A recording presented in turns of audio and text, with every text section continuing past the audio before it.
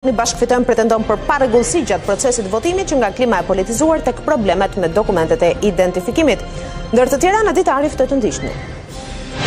Shqipëria do të lejojë importin e mbetjeve nga jashtë, drita jeshile do t'u jepet vetëm mbetjeve të parrezikshme, lista e të cilave do të miratohet nga qeveria.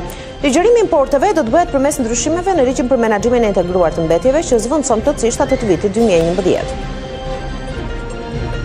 Arrestohen në Memaliaj babë e birë pasi akuzohen si bashkëpunëtorë në vrasjen e Faik Hajdinit, ndërsa shpallet në kërkim autori Berti Kanushi. Ky i fundit nga hetimet e deritanishme dyshohet se ka vrarë 72 vjeçarin pas një konflikti për rrethimin e tokës dhe banesës dhe më pas e ka hedhur në greminë.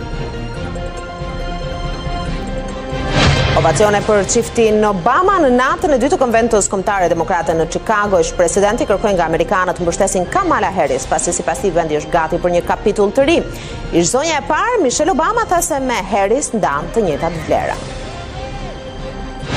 Paqja midis Izraelit dhe Hamasit ka shumë pak gjasa të ndodhë në të ardhmen e afërt. Netanyahu kërkon me këmbgulje një fuqizim të trupave izraelite në Gaza, ndërkohë përpjekjet e sekretarit amerikan të shtetit Antony Blinken për paqe po dështojnë.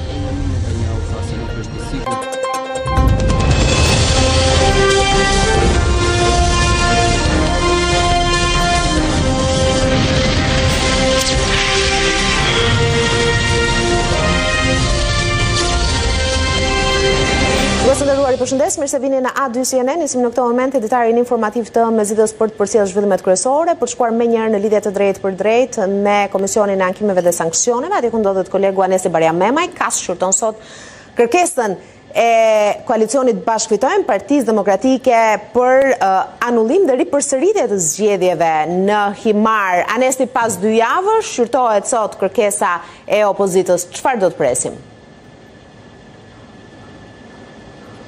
Pritet në këto momente të nisë mbledhja e Komisionit të Ankesave dhe Sanksioneve pas kërkesës së Partisë Demokratike dhe koalicionit Bashkë Fitojmë për shpalljen e pavlefshmërisë të zgjedhjeve të katër gushtit në Himarë. Sipas Partisë Demokratike, por edhe koalicionit Bashkë Fitojmë, zgjedhjet e Himarës janë shoqëruar me një sërë parregullsish duke nisur që nga klima politike e tensionuar, nga intimidimi i zgjedhësve, por edhe parregullsi të tjera si shtimi i listës së zgjedhjeve para datës 4 gusht dhe një pjesë e qytetarëve të Himarës nuk u lejuan që të votonin pasi kishin karta identiteti të skaduara. Andaj për Partinë Demokratike këto parregullsi kanë pamundësuar zhvillimin e zgjedhjeve normale dhe ata kërkojnë që të gjitha qendrat e votimit të zgjedhjeve të 4 gushtit të shpallen të pavlefshme dhe të ketë një ripërsëritje të këtyre zgjedhjeve.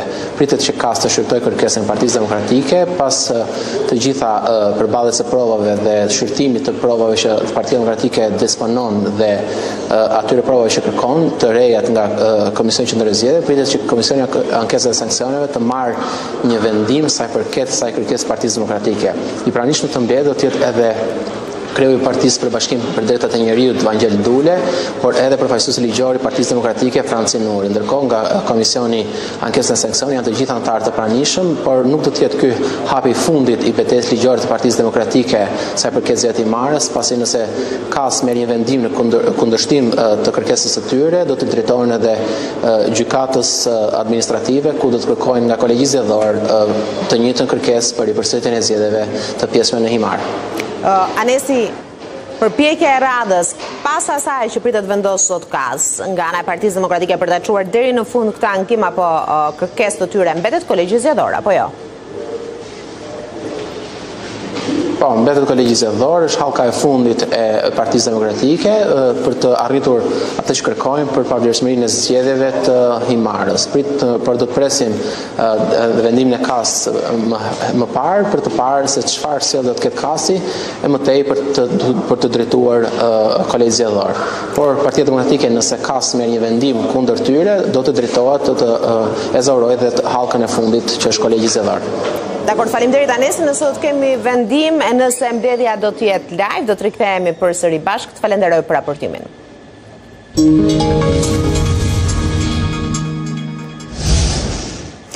Tre të dyshuarve për sulmin terrorist në Banjskë ndaj policisë së Kosovës u është vazhduar paraburgimi nga Gjykata Themelore në Prishtinë. Kjo erdhi pas kërkesës së Prokurorisë Speciale me vendimin e fundit Vladimir Toliç, Blagoje Spasojeviç dhe Dushan Maksimoviç do të vazhdojnë të qëndrojnë në paraburgim edhe për dy muaj të tjerë. Më 24 shtator të vitit të shkuar, një grup i armatosur serbësh sulmoi policinë e Kosovës në Banjskë, duke lënë të vrarë rreshterin Afrim Bunjaku. Në shkëmbim e sipër të zjarrit janë vrarë edhe tre agresorë serbë. Krimineli Milan Radoiçiç ka pranuar fajësinë duke konfirmuar se ka organizuar dhe udhëhequr një grup paramilitar të armatosur. Për Qeverinë e Kosovës ai është mbështetur dhe ndihmuar nga shteti i Serbisë, ndërsa si qëllim ka pasur aneksimin e veriut të Kosovës. Institucionet e drejtësisë në Kosovë po zhvillojnë hetime lidhur me rastin, por ende nuk janë ngritur akuzat zyrtare. Hapja e urës së Ibrit kërkohet që të bëhet me një dakordim paraprak me Shtetet e Bashkuara dhe aleatët e tjerë të Kosovës. Presidentja Vjosa Osmani ka vijuar takimet për një plan, ndërsa PDK dhe ekspertë të sigurisë i sugjerojnë Albin Kurtit që të mos nxitohet. Hapja e urës së Ibrit për qarkullim të automjeteve vijon të mbetet çështja që po marr vëmendje në Kosovë. Presidentja Vjosa Osmani gjatë së martës takoi ndihmëssekretarin e përgjithshëm të NATO-s për çështje të jashtme dhe siguri, ambasadorin Boris Ruge, dhe ambasadorin e Mbretërisë së Bashkuar në Kosovë, Jonathan Hargreaves, për hapjen e urës. Presidentja Osmani ka ritheksuar në takime se plani i zbatimit për hapjen e urës duhet të bëhet me konsultim e koordinim midis institucioneve tona dhe partnerëve tanë të sigurisë. Partia Demokratike e Kosovës kërkoi që Kurti të mos nxitohet me hapjen e urës pa miratimin e aleatëve, pasi sipas tyre, përmes koordinimit Kosova ka arritur suksese shumë më të mëdha sesa hapja e një ure. Një betejë shumë e vogël, shumë simbolike, të cilën unë jam e bindur që nëse kryeministri tregohet i matur dhe koordinohet me aleatët, do të mund të arrihet shpejt. Për shkak të ndjeshmërisë nga ana e sigurisë, një dakordim paraprak me vendet e QUINT-it, për hapjen e urës është i domosdoshëm për të shmangur tensionet. Duhet të ketë një bashkëpunim, një marrëveshje edhe me faktorin ndërkombëtar, pasi që në punët e sigurisë, çështje sigurisë, në pjesën veriore, po edhe në pjesë tjera të kufirit, i kryejmë së bashku me KFOR-in edhe faktorin ndërkombëtar atje, prandaj duhet një marrëveshje përbashkët mes institucioneve tona me institucione ndërkombëtare, por ura duhet të hapet patjetër. Kryeministri Albin Kurti deklaroi se nuk do t'i befasojë aleatët me hapjen e urës, por as nuk do ta zvarrisë pafundësisht. Bashkimi Europian ka kërkuar nga autoritetet e Kosovës t'i dëgjojnë partnerët dhe aleatët në lidhje me hapjen e urës së Ibrit. Zëdhënësi i Bashkimit Europian Peter Stano theksoi se qëndrimi i BE-së në lidhje me urën e Ibrit nuk ka ndryshuar.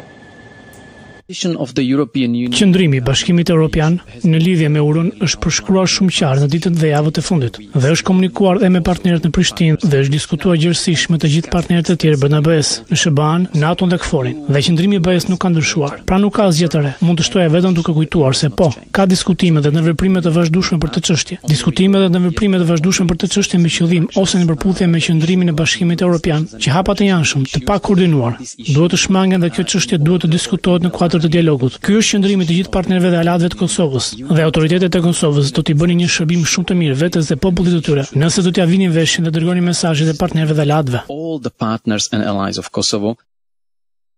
Hapja e urës së Ibrit, një çështje që duhet të vendoset vetëm nga qeveria e Prishtinës apo duhet të dialogohet e të negociohet edhe me Serbinë në Bruksel apo të dakordsohet me Shtetet e Bashkuara të Amerikës dhe të tjerë partnerë të Kosovës dhe të qeverisë Kurti, e diskutojmë këtë çështje me analistin dhe gazetarin Ben Andoni që na bashkohet në studio. Mirë se vjen. Kënaqësi që jemi ne. Mirë se vjen. Zoti Andoni, duket sikur është një sfidë e radhës kjo dhe një marrëdhënie e radhës e komplikuar apo tensione të reja i kanë quajtur disa mes Albin Kurtit edhe partnerëve ndërkombëtarë.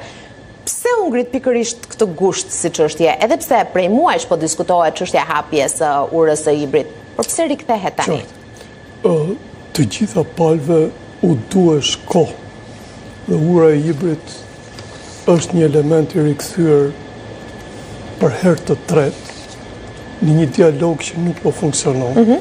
Dhe në këtë moment që jemi, dialogu s'funksionon më, marrëveshja franko-gjermane ka ngel buzë rrugës, mandati i zotit Lajçak që është shtyrë deri në fund të vitit është pothuajse apatik dhe qoftë pala serbe, Mbas zgjedhjeve dhe qoftë pala kosovare para zgjedhjeve u duhet kohë. Në qoftë se keni parë autoritetet ndërkombëtare e fajësojnë Kosovën, por ndërkohë mundohen të mbajnë një qëndrim sa më neutral me Serbinë sepse dinë shumë mirë që Kosova është para zgjedhjeve dhe zotit Kurti i duhet patjetër që të mbajë një kauzë të hapur. Por E vërteta është kjo, që që në dy mijë e pesëmbëdhjetën, atë kohë ish kryeministri zoti Vuçiç dhe zoti Isa Mustafa kanë rënë dakord për hapjen e urës. Më vonë, përsëri si pjesë e dialogut, është folur për një projekt i cili do shikonte fizibilitetin e urës dhe mundësinë se si ajo të përdoret. Kosova i ka kaluar Vetëm paradoksi shumë i madh është që fizibiliteti i urës është bërë vetëm përpara disa ditëve. Por, ka dhe një paradoks tjetër shumë të madh që vetëm dyqind metra matanë është një urë që funksionon. Që do të thotë, ura ka thjesht kuptim simbolik dhe do thjesht të japi frymëmarrje një dialogu i cili nuk ka më frymëmarrje. Por duhet të diskutohet në fakt çështja e urës së Ibrit? Në Bruksel, sepse jo. kjo ka qënë kundërshtia më e madhe, pra jo. sa kohë është brenda territorit të Kosovës, nuk ka pse të diskutohet me jo. Serbinë në Bruksel. Jo vetëm për këtë, që është kryesorja, është thelbësore, por nga ana tjetër edhe për diçka tjetër shumë të madhe që dialogu edhe kaq është i asfiksuar. Të shtosh dhe një diçka artificiale do të thotë që ti të shtosh vazhdimisht artifica të tilla dhe ta bësh dialogun që të shkojë në kalenda. Ju thoni që është brenda kufirit të Kosovës, por harroni që Serbia nga ana tjetër kufirin e Kosovës e quan kufi të brendshëm, kufi lokal. E ky është paradoksi i madh që ata e kërkojnë tashi që sërish ura të kthehet, duke anashkaluar shumë dokumenta të cilat janë firmosur deri tani. Dhe në vëmendjen tuaj duhet të thoja para disa vjetëve, përveç këtyre, në mirëkuptim me të gjitha palët ka qenë krijimi i Parkut të Paqes, instalacion artistik, i cili në një farë mënyre do ishte atë zulmën e keqe që kishte ura, sepse matanë gjithmonë kanë ndenjur këta të fortët e forcave paramilitare, Dhe dy këto forcat e mëdha që Kosova tashi i ka nxjerrë jashtë ligjit, mbrojtja e brendshme dhe formacioni tjetër. Dakord Albin Kurtit, siç ju me të drejtë e përmendët, i duhet një kauzë e hapur, sepse po. jemi vetëm pak muaj para zgjedhjeve, edhe pse vetë Kurti këmbëngul që mund të shkojë në zgjedhje edhe në po. nëntor, ndonëse uh, afatet nuk uh, e lejojnë. Ju e përmendët që Çështja e urës është diskutuar dhe ka patur një marrëveshje për hapjen e urës që në negociatat 2014-2017, madje është vendosur edhe për mënyrën se si ura do të hapet. Nëse Albin Kurtit i intereson ta ketë si kauzë në muajt në vazhdim, Serbisë i intereson të diskutojë për hapjen e urës në Bruksel, çfarë fiton Vuçiç? nuk i duhet fare përveç fitimit të kohës. Serbët gjithmonë kanë nevojë për të fituar kohë dhe ky subjekt i fitimit të kohës i ka sjellë deri tani që Kosovën ta vendosin para problematikave të mëdha. Ju e dini me këtë shtyrje shumë të madhe Kosovës i janë hequr njohje ndërkombëtare, të pakta kuptohet, por i janë hequr. Ndërkohë që janë bllokuar këto njohje. Ndërkohë nga ana tjetër ju e dini shumë mirë që mbi Kosovën ka masa shtrënguese. Ndërkohë që Serbia që bëri atë që bëri me Banjskën, jo vetëm nuk ka penalitete, po ndërkohë vazhdon merr ndihma nga Bashkimi Evropian. Ndërkohë që Brukseli vazhdon ta kërcënojë Kosovën se nëse merr një vendim të njëanshëm në rastin e urës së Ibrit, mund të rrezikojë të tjera sanksione. Po mendoj që frika shumë e madhe e Bashkimit Evropian nuk është më për Kosovën në vetvete, po është për krijimin e një vatre, e cila po mendoj që është gjithmonë e më afërt prej asaj që përcjell politika serbe.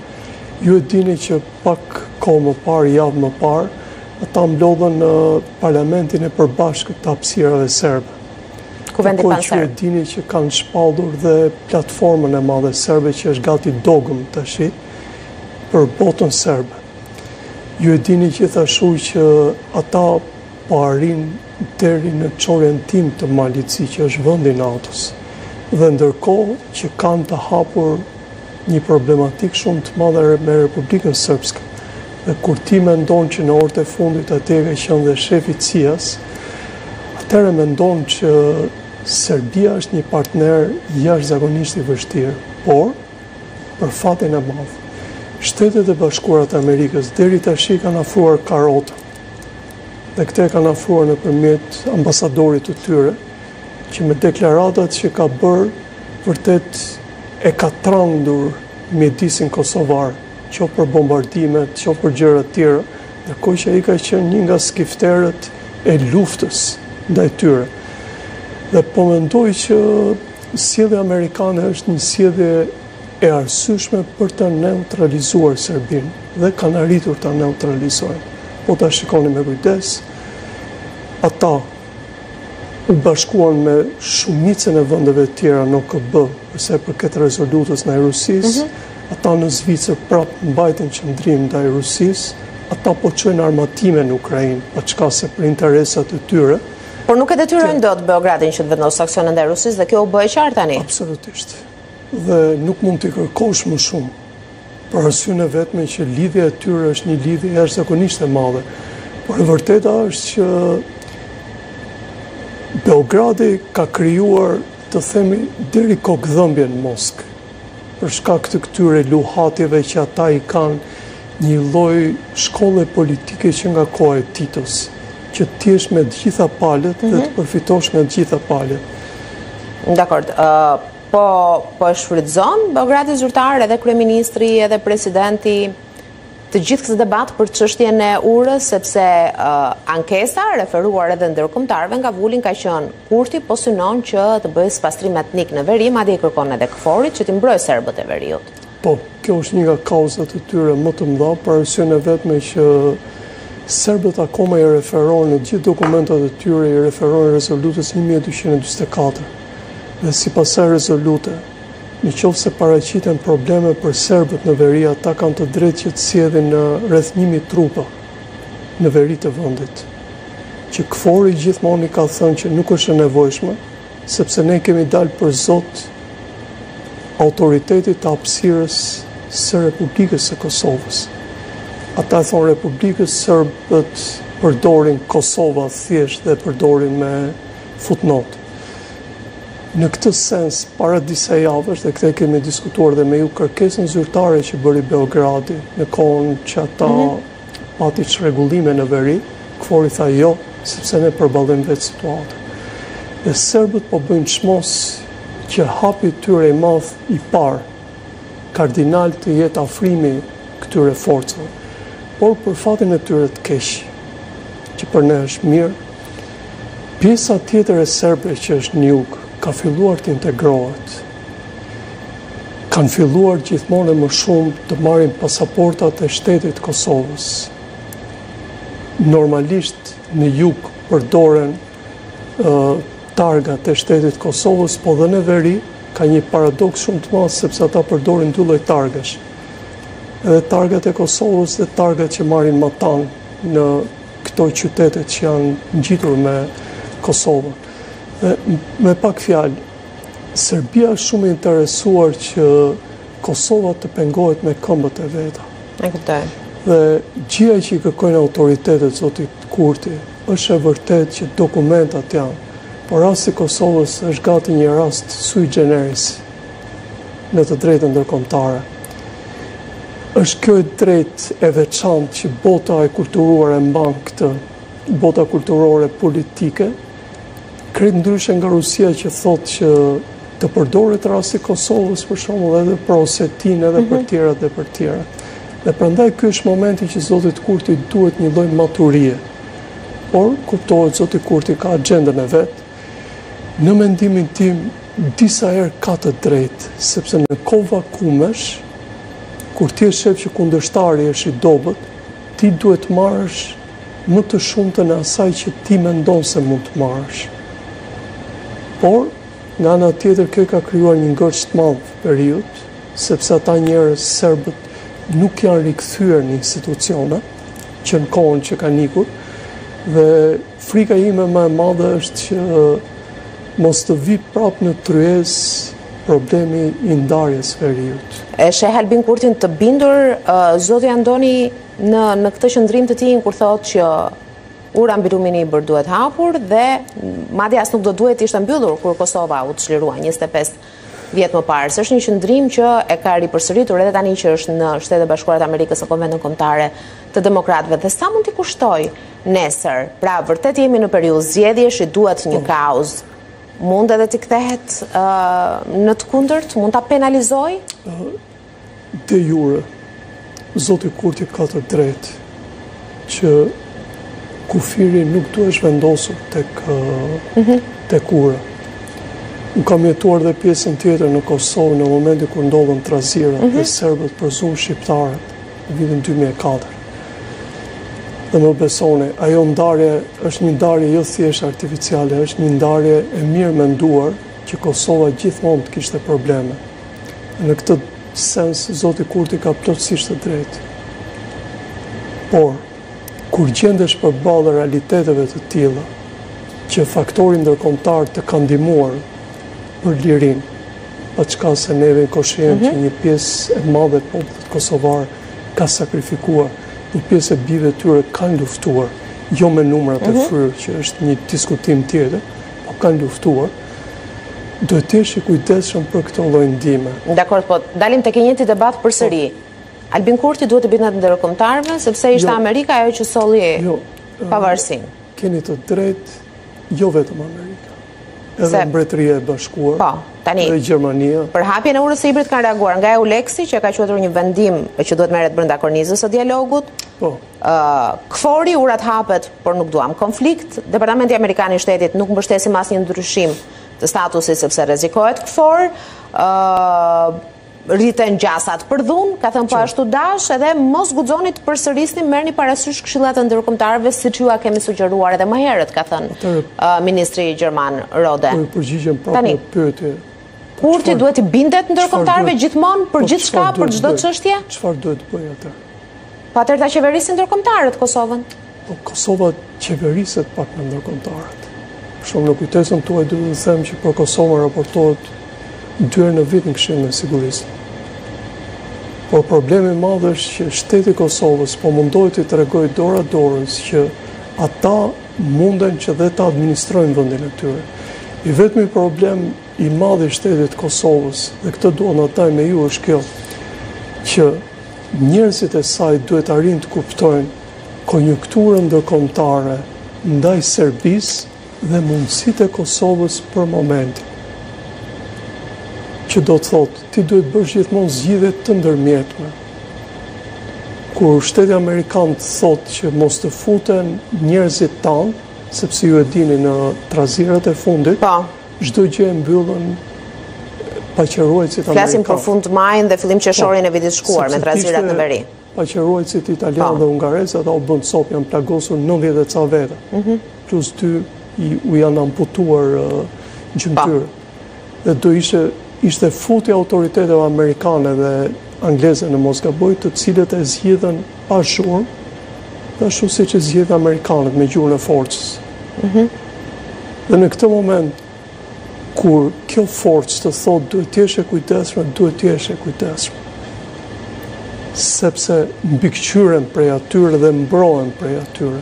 Po mendoj që Kosova pak është peng edhe i ngjarjeve që po ndodhin me Rusinë. Duket që fuqitë e mëdha mundohen që të ruajnë një lloj hapësire se ç'do ndodhë me konfigurimin ndërkombëtar kur Rusia me Ukrainën të kenë mbyllur luftën, që do të thotë deri ku do shtrihen interesat e Rusisë dhe deri ku bota për shembull në rastin e Kosovës, do vazhdojë me parimet e saj. Ju e dini që çdo ndryshim politik ndërkombëtar, sidomos në të drejtën ndërkombëtare gjithmonë ka lëshime dhe gjithmonë e hanë popujt e vegjël, siç është edhe Kosova në këtë rast. Prandaj zotit Kurti i thuhet që është e vërtetë që ata janë të përkëdhelur nga historia. Shqiptarët me vërtet mend ne kemi luftuar shumë, mhm. kemi sakrifikuar shumë, jemi vrarë shumë, po dhe jemi përkëdhelur nga historia. dy shtete për njëqind e njëzet vjet është e jashtëzakonshme. Kur mendon fatin e kurdëve, kur mendon fatin e Palestinës me ça po ndodh, llogarite ça fat i madh është për Kosovën. Dhe kjo i kujtohet zotit Kurti vazhdimisht që të ketë kujdes, të ketë kujdes në hapat e veta. Në mendimin tim, përpjekja e tij më e madhe duhet të ishte për lirimin e masave shtrënguese, sepse ka bllokuar projekte lokale që lidhen direkt me interesin e banorëve. Ju e dini, dhe me kushtet që jemi, shikoni rastin e Shqipërisë, Shqipëria po zbrazet. Ne jemi në një alarm mbi alarmet për pjesën demografike, ashtu është dhe Kosova, ashtu është dhe vetë Serbia. Dhe në këtë sens Kosovës i thjesht kërkohet një lloj maturie ke kjo, të merret më shumë me çështje të cilat lidhen me banorët e saj. Kurse veriu, siç ju thashë, dyqind metra më andej, është funksionale ura, kalojnë mjete, kalojnë gjithë interesat që që kanë. Një maturi që deri dje presidentja Osmani e tregoi në raport me ndërkombëtarët, por sot duket se është në një zë me Albin Kurtin. Po mjafton çështja e urës Për t'i afruar edhe njëherë Albin Kurtin edhe Vjosa Osmanin, tani që kemi edhe një datë zgjedhjesh? Besoj që jo. Jo. Jo. Për arsyen e vetme që zoti Kurti duhet vazhdimisht që nga Lëvizja Guxo që përfaqëson zonja Osmani, të marrë gjithmonë verdikte që janë pro tij. Ndërsa zonja Osmani në 2-3 raste ka treguar që nuk është shumë pro zotit Kurti. Dhe Zoti Kurti është pjekur politikisht, zoti Kurti duket që është një politikan tashmë që do ngulet për shumë kohë në postin e kryeministrit të Kosovës, është shumë i kujdesshëm në interesat e tij, afatshkurtër dhe interesat afatgjatë. Deri tani ka funksionuar me zonjën Osmani, se kanë qenë si dy valvula, kur njëra ishte mirë e mbyllur me ndërkombëtarët funksiononte valvula tjetër. por ka ardhur momenti që autoritetet ndërkombëtare duan më shumë valvulën që lidhet me interesa vendimmarrëse që është zoti Kurti. Automatikisht me qeverinë. Dhe... E sheh një një rrugë pakthim mes të dyve? Jo, gjithmonë ka mundësi. Dhe për shembull një mundësi që më bëri çudi ishte ndihma që i dha zonja Gërvala. Ju e dini që zonja Gërvala disa herë ka pas probleme me zonjën Osmani. Pa. Po. për sa i përket atributeve, protokollit, por në rastin e fundit të incidentit familjar që kishte zonja Osmani, që ka treguar probleme shumë të mëdha të shoqërisë kosovare, po dhe vetë autoritetit të presidencës kosovare, ajo i doli në krah zonjës Osmani, që tregon që qeveria po punon që të jetë me këtë lloj konfigurimi, sepse me ça shikon opozita me gjithë atë Dëshirën, pregatitjen, ende nuk është e pregatitur për pushtet në Kosovë. Dhe në fakt Albin Kurti është shprehur i bindur, edhe pse kërkon zgjedhje të parakohshme që në nëntor, kohë në të cilën zgjidhet edhe shefi i ri i Shtëpisë së Bardhë, Kurti thotë që Lëvizja Vetëvendosje do të marrë në shkurt të dy mijë e njëzet e pesës mbështetje shumë më të madhe madje edhe se nga dy mijë e njëzet e një-shi. Kjo sepse ka një opozitë të dobët, të përçarë përballë apo sepse mbështetja për Albin Kurtin dhe Lëvizjen Vetëvendosje është rritur? Jo, unë besoj që është më shumë një lloj qëndrueshmërie e njerëzve të Vetëvendosjes. Ndërkohë që pjesa tjetër ka treguar që ka dhe shumë problematika. Shikoj një ngritje të LDK-së, është më institucionale dhe si partia më e vjetër në Kosovë, po kanë qenë gjithmonë të mirë organizuar. Dhe partitë e tjera i shikoj më pak sfiduese ndaj zotit Kurti. Ndërsa po të kesh pushtet, ti ke mundësi që të shfrytëzosh dhe administratën, po ke mundësi të shfrytëzosh sidomos në rastin shqiptar çdo lloj mjeti të mundshëm. Dhe prandaj zoti Kurti është i bindur, sepse një qeveritar demokrat i vërtetë s'mund ta thoshte asnjëherë këtë. Shumë siç ndodhi në Shqipëri me zotin Rama që tha do fitoj 74 vota dhe mori 74 mhm. vota. E zoti Kurti duhet të ketë parasysh që me ato indikacione ekonomike që ka Kosova, Nuk duhet të jetë kaq i bindur për fitore të thellë në Kosovë, por sërish ai duket që ka një lloj epërsie në Kosovë. Por do të ketë nevojë për bashkëpunim me një nga partitë në opozitë? Po kam parë që për shembull sidomos në rastin e zotit Haradinaj, paçka se tani zoti Haradinaj mhm. është kundërshtari më i madh i tij. Të paktën publikisht. Të paktën publikisht, të paktën para disa muajve, ata patën një afrim shumë të madh. Dhe mos u çudisni që ky afrim të ndodhë përsëri me zotin Kurti. Takim ka patur edhe me zotin Krasniqi, por që po, po, nuk u reflektua në... Po, me zotin Krasniqi është diçka më tepër, sepse zoti Krasniqi ka dhe parti më të madhe se sa zoti Haradinaj. Ndërkohë që zoti Krasniqi ka dhe një problem shumë të madh kur duhet të qaset me zotin Kurti që ai anashkaloi pak për gabimin e tij, të qëndrimit që ka mbajtur qeveria dhe vetëvendosja ndaj njerëzve që janë në Hagë, paçka se ata prapë asistohen nga shteti i Kosovës, njerëzit që janë në Hagë. Dhe kjo është minus për zotin Krasniqi, e cila i luajti shumë, sidomos në momentet kur u fol për flirtin e tij me mhm. zotin Kurti.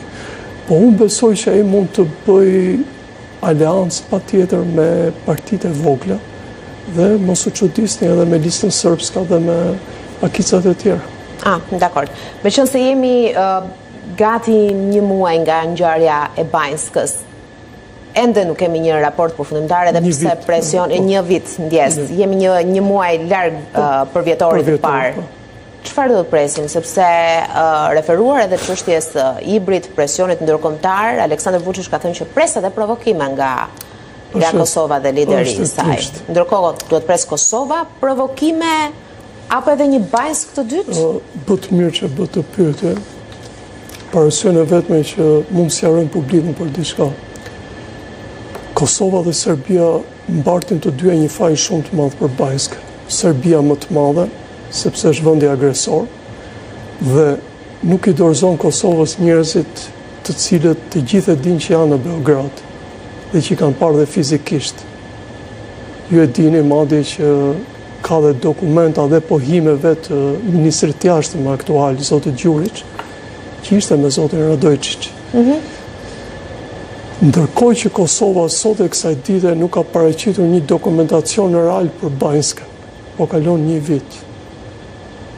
Dhe thirrja edhe e Kurtit dhe Osmanit kjo ka qenë dhe për prokurorin, të paktën të kemi po, një aktakuzë. Në qoftë se ti nuk e përgatit, atëherë normalisht çfarë do i kërkosh Serbisë realisht. Dhe prandaj autoritetet ndërkombëtare kthehemi tek të gjitha pyetjet tuaja që bëtë me të drejtë, pse ata duhet ashtu? Sepse ne nuk bëjmë punët tona shtetërore. Zoti Kurti, në qoftë se do bënte punët e veta shtetërore, atëherë të huajt do ishin më të kujdesshëm. Jo që ata, të themi, janë janë simbol i dritës për ne. Ashtu për shembull si pjesa e gjykatës, në qoftë se do bënte punën e saj të drejtë, atëherë ne do kishim çfarë thoshim për Banjskë. Hidhemi ke Serbia. Në qoftë se ata nuk do patrullonin aty ku patrullojnë me Kosovën, Atëherë ata duhet ta mbyllin gojën, kupton? Ashtu siç duhet ta mbyllin gojën dhe për atë që ata i kanë njerëzit dhe i shohin të gjithë në Beograd. Dhe para disa orësh një publicist shumë i madh i tyre i ka akuzuar hapur për për mënyrën se si fshihen këta dhe mënyrën se si këta tashmë ushtrojnë presion dhe me pjesën civile serbe, mhm. beogradase. Ky është problemi i madh që unë dua ta theksoj prapë. Neve duhet të bëjmë punët tona shtetërore. Ashtu si në Shqipëri. Në qoftë se ti nuk kujdesesh për shtetin tënd, nuk ke pse të kërkosh llogari ke të tjerët. Mendon se do të kemi një shtator të brishtë për veriun e Kosovës? Jo, unë besoj që do mbartet kështu. do mbartet në të njëjtën mënyrë. Në status quo, Kosova do të hyjë në fushatë, nuk do të ketë më po, kohë për dialog. Ju e dini për shembull që Zoti Kurti në këto momente tha që ura do hapet, por po, tashmë po mendojmë për zbukurimin dhe elemente. Ne të dy e dimë që ura është boll e bukur. Fizibiliteti e tregoi që mban, është e mirë. Por do të mbajë vetëm makinat e KFOR-it dhe të EULEX-it? Po, makinat e rënda kalojnë ke ura tjetër. Kanë kaluar, kalojnë dhe do të kalojnë. Po shndërrohet edhe në simbol. Ajo është shëtitore. Kaq. Dakord. Por, kini parasysh, serbët që janë në veri, ata që nuk kanë ndyrë duart ndaj shqiptarëve, shkojnë dhe bashkëpunojnë me shqiptarët. Ashtu si shqiptarët në jug bashkëpunojnë me serbët. Dhe këtë e kam nga përvoja ime, sepse kanë banuar, kanë ndarë jetën me njëri mhm. tjetrin. Dhe i gjenden njëri tjetrit për, për problemet ditore. Për shumë shqiptarët marrin, marrin ilaçe, marrin medikamente matanë. Kurse ata marrin gjëra të tjera që u duhen nga pjesa e jugut. Dakord, një vit nga ngjarja e Banjskës, për çfarë nuk kemi diskutuar në lidhje mes Kosovës edhe Serbisë, dialogu, dinari, Manastire, toka të dhëna, marrëveshje po. asociacion, por jemi përsëri po, në vendnumëro. Dhe Kosova për i mirë që e la. Por jemi në vendnumëro, ama? Në vendnumëro. Dakord. Zoti Andoni, faleminderit shumë për kohën, për bisedën dhe shtatori besoj do të sjellë mjaft zhvillime për të diskutuar. Po. Faleminderit, ishte kënaqësi. Ndihmës sekretari i përgjithshëm i NATO-s për çështje të jashtme dhe siguri, Boris Ruge, ka bërë thirrje për vetëpërmbajtje nga veprimet dhe deklaratat e njëanshme, të cilat mund të ndikojnë në rritjen e tensioneve, pasi autoritetet e Kosovës po punojnë për hapjen e urës kryesore mbi lumin Ibër në veri. Është thelbësore që të gjithë aktorët të përmbahen nga veprimet dhe deklaratat e njëanshme, të cilat mund të krijojnë tensione. Kjo është e rëndësishme për sigurinë afatgjatë në Kosovë, për të mirën e të gjithë njerëzve dhe komuniteteve dhe për stabilitetin rajonal, shkroi Ruge në rrjetin X. Ai u prit të martën në një takim në Prishtinë nga presidentja e Kosovës, Vjosa Osmani, me të cilën bisedoi për çështjen e urës, e cila ndan Mitrovicën në jug me shumicën shqiptare dhe në veri me shumicën serbe. Kryeministri Albin Kurti ndërkohë mori pjesë në punimet e Konventës Kombëtare Demokrate në Chicago, në intervistën për Zërin e Amerikës konfirmoi se do të mbajë takime të rëndësishme dhe se kishte një ftesë zyrtare për të qenë pjesë e eventit. Kurti gjithashtu theksoi se nuk do t'i surprizojë aleatët lidhur me çështjen e urës së Ibrit. Në këtë kuvend kombëtar të demokratëve do të kem shansin që të zhvilloj edhe disa takime të rëndësishme, por duhet theksuar që këtu jam ftuar si kryeministër i një shteti demokratik dhe si kryetar i një subjekti politik socialdemokrat. Kosova, sidomos në vitet e fundit, ka shënuar një zhvillim të hovshëm ekonomik. Duhet të na mirëkuptoni që ne nuk mund të themi që sundimi i ligjit dhe lëvizja e lirë vlejnë gjithandej Kosovës për të gjithë, tërë kohën, përveçse në urin, urën kryesore mbi lumin Ibër. Jemi duke i dëgjuar me vëmendje të gjitha vërejtjet dhe sugjerimet Kurrë nuk ka pasur më shumë konsultime dhe koordinim dhe jam optimist se do ta kemi edhe sundimin e ligjit e lirinë e lëvizjes në njërën anë, edhe paqen, sigurinë edhe qetësinë në anën tjetër. Hapja e urës mbi lumin Ibër në Mitrovicë nuk është kundër askujt, ajo është për komunitetin serb, për shqiptarët, për boshnjakët dhe për të gjitha pakicat, sikurse turqit, egjiptianët, ashkalitë edhe romët, për të gjithë qytetarët e Republikës tonë demokratike. Evropa i ka shembur të gjitha muret. Ne jemi në Evropë dhe duhet ta hapim edhe këtë urë. Qeveria e Serbisë nuk lë asnjë ditë pa akuzuar shqiptarët apo Kosovën për diçka. Ministri i Jashtëm Marko Gjuriç pretendoi se ambasadat e vendit të tij në dy kryeqytete kryesore europiane kanë marrë kërcënime në 24 orët e fundit se do të jenë objekt i sulmeve terroriste. Sipas informacioneve paraprake, këto kërcënime vijnë nga qarqe ekstreme dhe separatiste të një pjese të diasporës sonë nga Kosova, pra nga persona të kombësisë shqiptare, u shpreh ai në një media në Beograd. Gjuriç shtoi se Serbia po punon me autoritetet e tjera europiane të sigurisë për të parandaluar apo eliminuar këto kërcënime. Të paktën një autor i këtyre kërcënimeve është identifikuar. Thjesht ju e dini si bëjnë këtë. Është një skenar që është parë në vitet tetëdhjetë dhe nëntëdhjetë, pretendoi ministri serb. Ai akuzon njerëz në Prishtinë se zgjedhin dikë që ka një historik me probleme mendore për të bërë të mundur që autori i ndonjë sulmi të mundshëm të shmangë përgjegjësinë ligjore. Krimineli Radovan Karadzic, i njohur si kasapi i Bosnjës, ka paditur qeverinë britanike për trajtim çnjerëzor, pasi nuk i lejohet laptopi në qelitë e burgut. 79 vjeçari po vuan dënimin në burgun Albani në ishullin Wight, ai kërkon 50.000 pound për shkelje të të drejtave të njeriut, ndërsa pretendon se i është ndaluar të komunikojë në gjuhën serbe. Me anë të një video online, ai ka paditur javën e shkuar në gjykatë sekretaren e shtetit për drejtësinë Shabana Mahmud. Këto pretendime kanë nisur që në vitin 2021, atëherë kur vajza e tij Sonja akuzoi se ai ishte mbajtur në burg në kushte të papërshtatshme. Veç të tjerave, ai është duke u mbajtur në një ndërtesë plot me asbest kancerogjen që është ndaluar në gjithë botën. Kjo tregon qartë se si po trajtohet ai, shprehej ajo në atë kohë. Radovan Karaxhiç u shpall fajtor për krime lufte dhe krime kundër njerëzimit për masakrat e kryera në Bosnjë-Hercegovinë gjatë luftës së fundit.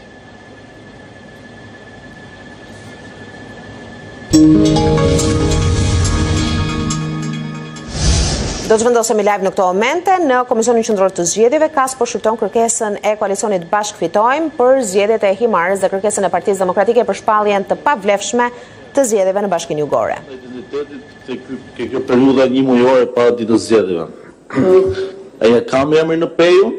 Në qoftë se e rinovoj, po pse këta nuk kanë dalë? Një sekondë. PEI i ka të, të gjithë listën e zgjedhësve të Në datën importuar ose në një termin që përdorni ju. Në datën 15 ne kemi marrë listën e zgjedhësve. 15 korrik.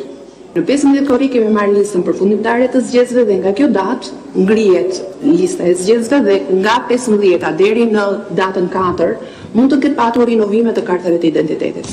Informacioni që hidhet në pej ka lidhje me dokumentat e gjeneruara deri në atë moment, do të thotë në qoftë se ju keni bërë një në datë gjashtëmbëdhjetë. njëzet keni bërë një keni marrë pasaportën e re ju mund të shkoni dhe identifikoheni dhe pasa pej ju thotë që ky person ka një dokument jo valid sepse e dhëna që është nuk është nuk është e updateuar domethënë kjo ky gepi nga data e marrjes së listës së votimeve të listës së zgjedhësve deri në datën e votimit është i pambuluar nga. Një pyetje ndoshta teknike po pse nuk bëhet Apdejtimi apo apgrejdimi i pej dy ditë para jo sepse po bëhet një muaj para jo, jo ka proces përgatitor dhe në bazë të kësaj liste ne përgatisim në bazë të kësaj liste përgatiten uh, USB-t dhe përgatiten të gjithë makinat për t'u bërë gati dhe për t'u përshpërndarë pastaj në qendrat e votimit.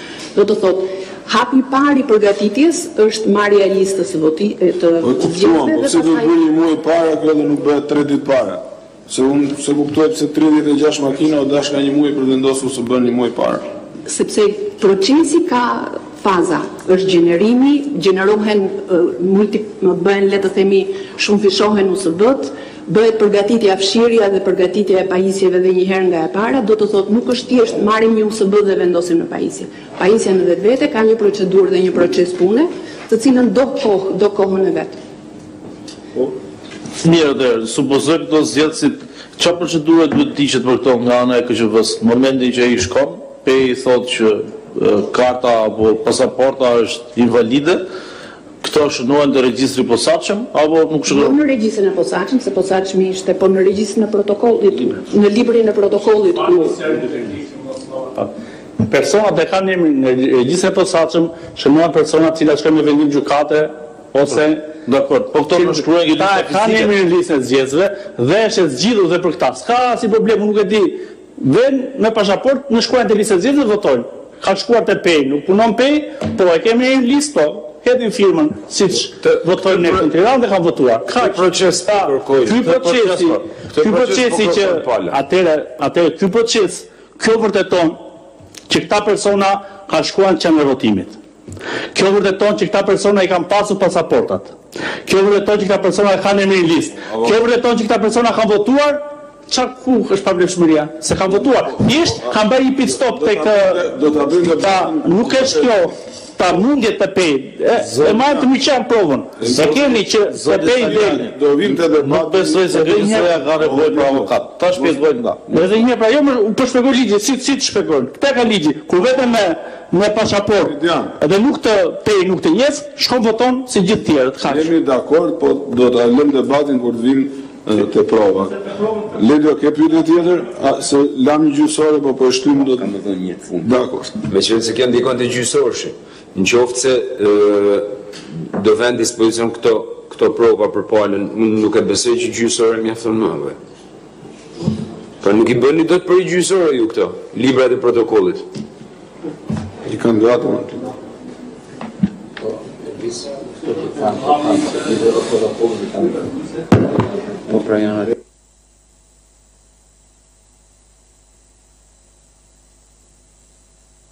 Rip. A mjafton një gjysmë ore më që mos mblidhemi për një gjysmë ore ta shtyjmë prap edhe tre ditë tjera kaq duhen me ditë vetëm kaq për efiçencë për ekonomi të procesit vetëm kaq mas gjysmë ore i kemi gjitha gati këto gjëra që fje të vazhdojmë siç e sqarova edhe më sipër janë dokumenta të cilat ndodhen në kutinë e materialeve zgjedhore po dhe ato hapen me vendim kërkesat e tjera po patjetër për gjysmë ore dakord atëherë po mblidhemi në një e gjysmë që të jemi më efiçentë Jemi dakord, mblidhemi në orën një e gjysmë dhe vazhdojmë dhe vazhdojmë procesin. Okay. Ju merrni dokumentat sa më shpejt jetë e mundur dhe ne vazhdojmë debatin në atë moment. Faleminderit. Në kaq e mbyllim. Kohë për palët për t'u rikthyer përsëri në mbledhje të drejtpërdrejtë të Komisionit të Ankimit dhe sanksioneve pranë Komisionit Qendror të Zgjedhjeve dhe në 13:30 dhe ne do të rikthehemi përsëri live për të ndjekur diskutimet dhe gjithçka do të vendoset për zgjedhjet e 4 gushtit në Himarë. Rënia e eksporteve dhe rritja e deficitit tregtar gjatë 7 muajve të parë të vitit, sipas Dorian Telitit, shënon një rekord të ri të mbrapsht të keqeverisjes së vendit. Këshilltari për çështjet ekonomike në Partinë Demokratike i quajti dramatike të dhënat zyrtare mbi shëndetin e sipërmarrjes shqiptare. Eksportet shqiptare pësuan një rënie të ndjeshme duke u ulur me plot 14.5%, ndërkohë që të fituar kanë dalë vetëm miqtë importues, pasi importet rezultojnë me rritje, konkretisht 3.2%. Deficiti tregtar u rrit me 23.6% gjatë shtatë muajve të parë të vitit, tregues ky i qartë i dobësimit të pozicionit tregtar si të ekonomisë ashtu dhe të prodhuesve shqiptarë krahasuar me vendet dhe konkurrentët në rajon dhe më gjerë. Modeli ekonomik rilindas, i fuqizimit dhe pasurimit vetëm të një grushti njerëzish, ndërkohë që ekonomia dobësohet dhe shqiptarët varfërohen, duhet të marrë fund një orë e më parë. Partia Demokratike e ka të qartë vizionin për ringritjen e ekonomisë tonë, për ringritjen e ekonomisë shqiptare.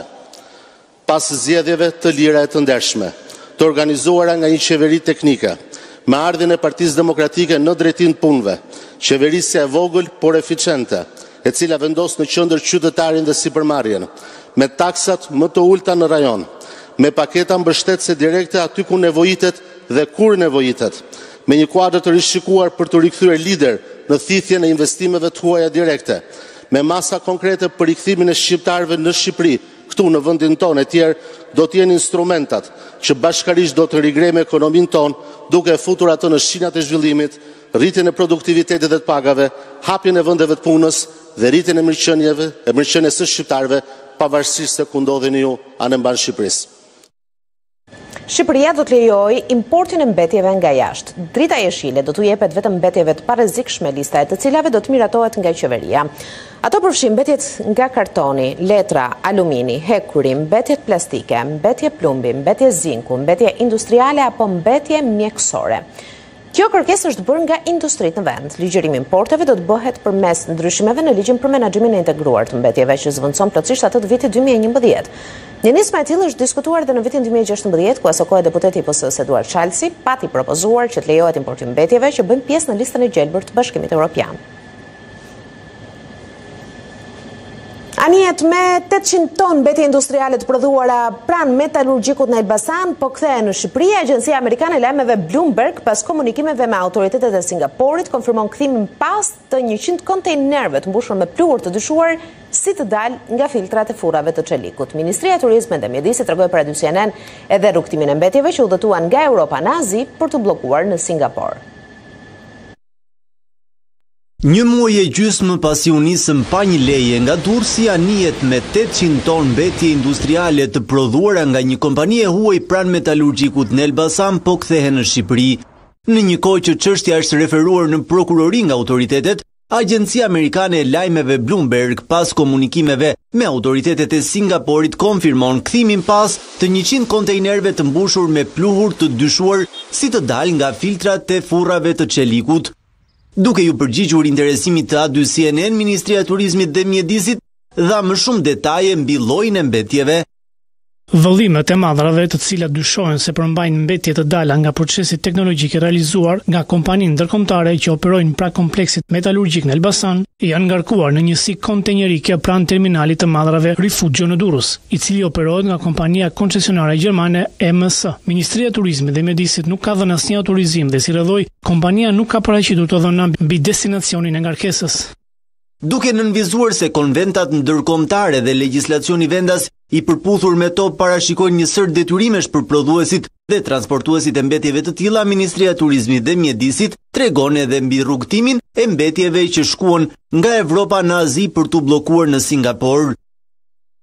Në vijim, këto njësi kontejnerike në pronësi të linjës ndërkombëtare MSC dyshohet se janë transportuar drejt portit të Triestes përmes anijeve kontejnerike ndërkombëtare. Në këtë port të Bashkimit Evropian njësitë kontejnerike nuk kanë qenë objekte kontrollesh dhe janë lejuar të vijojnë itinerarin e tyre duke u transportuar në anije të operuar nga një tjetër operator linjor ndërkombëtar, Maersk, me destinacion Azinë Juglindore. Bloomberg raporton se para se të rikthehen në Shqipëri kontejnerët me mbetje të dyshuar si të rrezikshme do të ankorohen në portin Gioia Tauro të Italisë në fund të shtatorit. Dy anije të kompanisë Maersk me 100 kontejnerë me mbetje të rrezikshme u nisën nga terminali i mallrave rifuxho në Durrës më katër korrik për të fikur më pas sinjalin në det të hapur. Hetim ndërkombëtar është kërkesa e Sali Berishës për çështjen e bllokimit në Tajland të një anije që dyshohet se është nisur nga brigjet shqiptare dhe ku mendohet se gjenden 100 kontejnerë me mbetje të rrezikshme. Lideri demokrat akuzon kryeministrin Rama si të përfshirë në këtë çështje, sipas Berishës, ngarkesa me mbetje nuk duhet të lejohet të shkarkohet në vendin tonë dhe u bën thirrje qytetarëve të ngrihen në protesta. Partia Demokratike. Partia Demokratike kërkon hetim ndërkombëtar për çështjen e bllokimit të anijes me njëqind kontejnerë me mbetje toksike, që dyshohet se është nisur nga Shqipëria, teksa ende nuk dihet fati i tyre nëse kanë dalë vërtet nga vendi ynë dhe a do të kthehen mbrapsht për t'u shkarkuar këtu. Kreu i demokratëve, Sali Berisha, në një deklaratë nga banesa e tij, kërkoi që OKB, NATO dhe OSBE të zbardhin këtë aferë. Partia Demokratike u bën thirrje edhe një herë Organizatës Kombeve të Bashkuara, Aleancës Atlantikut Veriut, por dhe OSBE-s, të hetojnë gjer në fund aferën e njëqind kontejnerëve me lëndë toksike të eksportuara nga Shqipëria Të gjindet përmbajtja e tyre. Dhe kush qëndron mbrapa? Teksa e cilëson skandaloze deklaratën e autoriteteve shqiptare se nuk kanë autorizuar eksportin e kontejnerëve nga porti i Durrësit, Berisha fajëson zyrtarët e qeverisë dhe drejton gishtin e akuzës direkt nga kryeministri. Kjo deklaratë skandaloze dëshmon se prapa tregtisë me lëndë të rrezikshme për jetën e qytetarëve shqiptarë dhe qytetarëve të vendeve të tjera qëndrojnë autoritetet më të larta të vendit qëndron Edi Rama. Sipas medias ndërkombëtare që kanë ndjekur çështjen, anija me mbetje të rrezikshme po kthehet në Shqipëri. Ndaj Berisha kërkon nga qytetarët të ngrihen në protesta, që ngarkesa toksike të mos shkarkohet në vendin tonë. Ju bëj thirrje shoqërisë civile, aktivistëve mbrojtësve të mjedisit, të mos lejojnë shkarkimin e tyre në portin e Durrësit, pa dalë të gjithë përgjegjësit e këtij akti të pashembullt Pa zbuluar mirë se kush qëndron prapa këtij akti dhe cilat janë substancat helmose. Ky akt, sipas Berishës, tregon se njësoj siç largohen pa autorizim mbetje toksike, njësoj importojnë qindra kontejnerë me drogë dhe helme që groposen në Shqipëri. Vetëm pas pak në ditar, Elson Reçi është i shumëkërkuari i radhës nga drejtësia shqiptare që përfundon pas hekurave në Dubai, më herët dy emra të tjerë të botës së krimit, Plarent Dervishaj dhe Julian Meçe. U sollën nga Dubai në Shqipëri, a do të ketë marrëveshje ekstradimi mes dy vendeve? Detajet i mësojmë pas pak nga gazetari Armand Bajrami.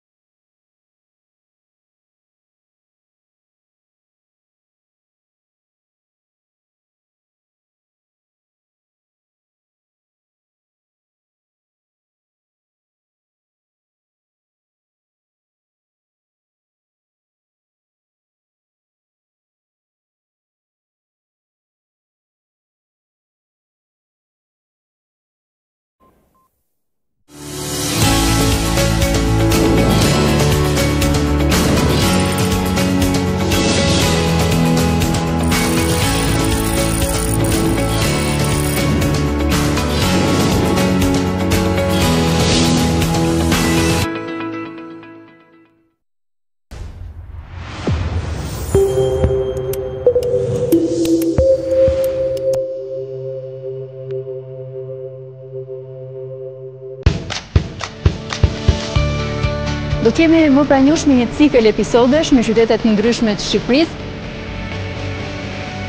Ndalesa jonë e parë është kalaja e Rozafës. Kjo ka mbajt ushtarë dhe armë. Po gjithmonë ka pas kalime të fshehta. Një tjetër destinacion turistik është pikërisht Liqeni i Shkodrës. Një pamje krejt në shpërqërohuese. Pelikani Kaçurrel dhe ne mund ta shohim këtu. Pjesët më interesante të fshatit Zogajt, që janë këto shkallët karakteristike. M'vjen keq me e lanë këtë traditë. Kjo është tava e famshme e krapit e Shkodrës. Muzeu i fotografisë Marubit. Kemi fotografinë në kohën që është deklarata e pavarësisë.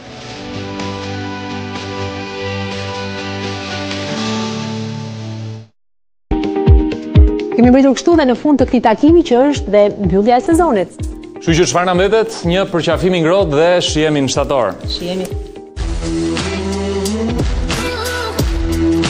Ah, sa do të isha në det tani.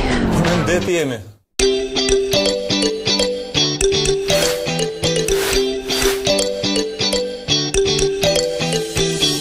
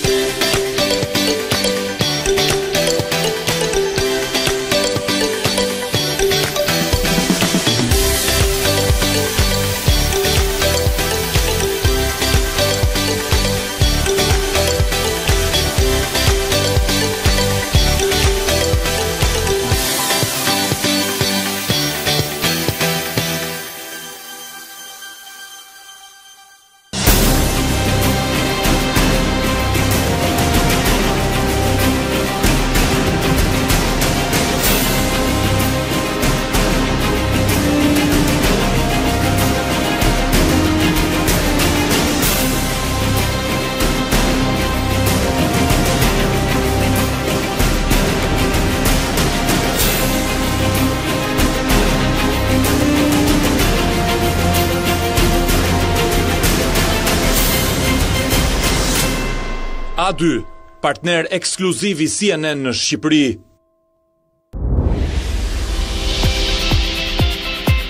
Teknologjia po ndryshon botën tonë me shpejtësi marramendëse. Kush nuk përshtatet, rrezikon të mbetet në mesjetë. Nga shpikjet e fundit tek idetë më të guximshme. Zbuloni se si shkencëtarët po japin formë të re çdo fushe të jetës sonë. Vetëm në A2 CNN, në rubrikën Teknologji dhe inovacion.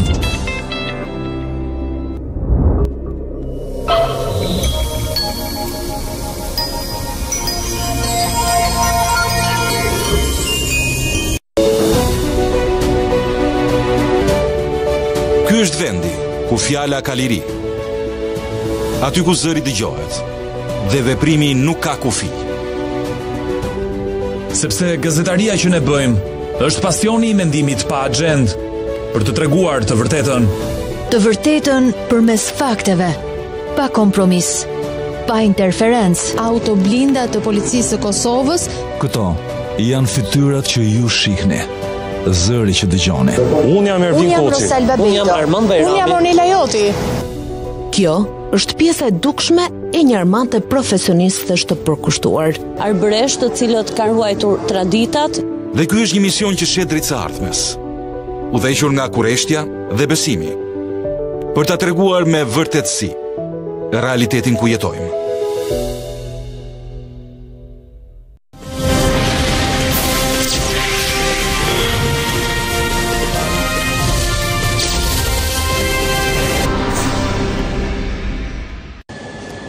Rikthehemi në ditar, detaje jo vetëm nga ngjarjet e ditës së sotme, por edhe me ngjarje për cilat kemi diskutuar përgjatë ditëve të fundit, ajo e një e mungesës së një marrëveshje ekstradimi nga Dubai për në Shqipëri për emra goxha të njohur të botës së krimit dhe të bandave shqiptare do të diskutojmë me kolegun Armand Bajrami, gazetar të kronikës në A2 CNN. Mirë se vjen, Armand.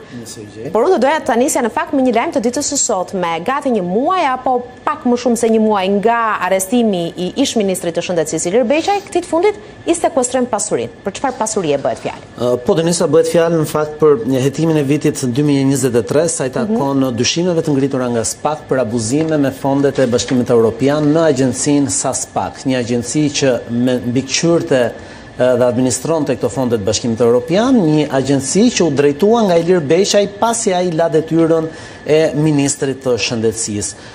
Ndonëse filluan hetime ndaj zotit Beqaj, sa i takon gjithmonë mhm. aferës së sterilizimit, çështje penale për të cilën është i pandehur tashmë, është marrë zyrtarisht i pandehur në gjykatën e posaçme, ditën e sotme spak ka njoftuar zyrtarisht sekuestrimin e disa pasurive, gjithmonë sa i takon këtij hetimi të dytë ndaj zotit Beqaj, atë të abuzimit, të abuzimit me fondet SASPAK, hetim për të cilin ish-ministri prej më shumë se një muaji, gati një muaj e gjysmë, qëndron në qelitë e paraburgimit, kundrejt një mase sigurie arrest në burg të caktuar ndaj tij nga gjykata e posaçme.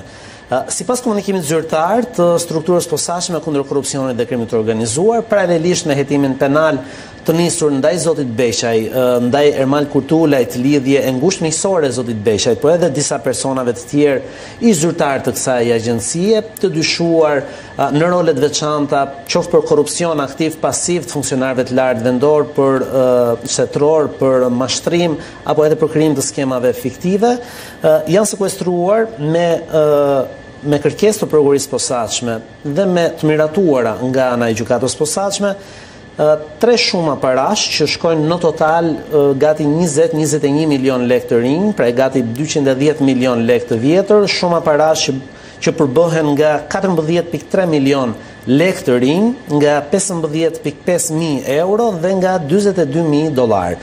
Këto shuma parash kanë qenë janë para të sekuestruara në llogari bankare të gjithë këtyre personave, përfshi zotin Beqaj, spak nuk ka bërë një ndarje në zëra se sa respektivisht sa janë të Beqajt, sa janë të Ermal Kurtulajt, Bion Aziajt, Bledar Lekës apo edhe Elton Marinit, Por në total janë para që janë marrë, janë sekuestruar, të ngrira tashmë me një vendim gjykate këtyre personave në llogari rrjedhëse, në depozita me afat apo edhe në në shuma cash të gjetura gjatë kontrolleve në banesat e tyre. Përveç këtyre kësaj vlefte financiare pra të bllokuar, mhm. gati 210 milion lekë të vjetër, këtyre kuotave mhm. në këtë restorant pranë qendrës Tiranës, janë bllokuar me me kërkesë të SPAK dhe me vendim të Gjykatës së Posaçme dhe tre automjete të regjistruara në emër të Ermal Kurtulajt dhe të Elton Marinit. Kujtoj që një nga automjetet të paktën të Ermal Kurtulajt është edhe një automjet që është përdorur nga zoti Beqaj në vijimësi për ardhjet e tij pranë Prokurorisë së Posaçme, i gjobitur disa herë, i gjobitur disa herë dhe i bërë madje edhe pjesë e e, e dosjes së Prokurorisë në këtë hetim, në hetimin SASPAK, ku Prokurorët e Prokurorisë së Posaçme që kanë ndjekur këtë hetim ngrenin dyshime se Ilir Beqaj se kjo pronë ndonëse figuronte pra kjo automjet ndonëse ishte në pronësi të Ermal Kurtulajt fakti që përdorej nga zoti Beqaj dhe fakti që disa herë në kohë të ndryshme kohore ishte gjobitur nga policia rrugore teksa drejtohej nga shoferi i Ilir Sepse zoti Beqaj nuk kishte patentë kujtoj përgjigjen. Po nga shoferi i Ilir Beqajt ngriti dyshime aso kohe prokuroria se mund të ishte edhe ky automjet mund të ishte një pasuri e fshehur e zotit Beqaj. Dhe për të thënë fare shkurtimisht, mhm. Spak në lidhje me të gjithë personat nga të cilët tashmë dy prej tyre qëndrojnë në masën e sigurisë arrest në burg, Ermal Kurtulaj dhe Ilir mhm. Beqaj, ndërkohë që të tjerët janë në masa më të buta sigurie, mhm. si arresti në shtëpi dhe detyrimi për paraqitje.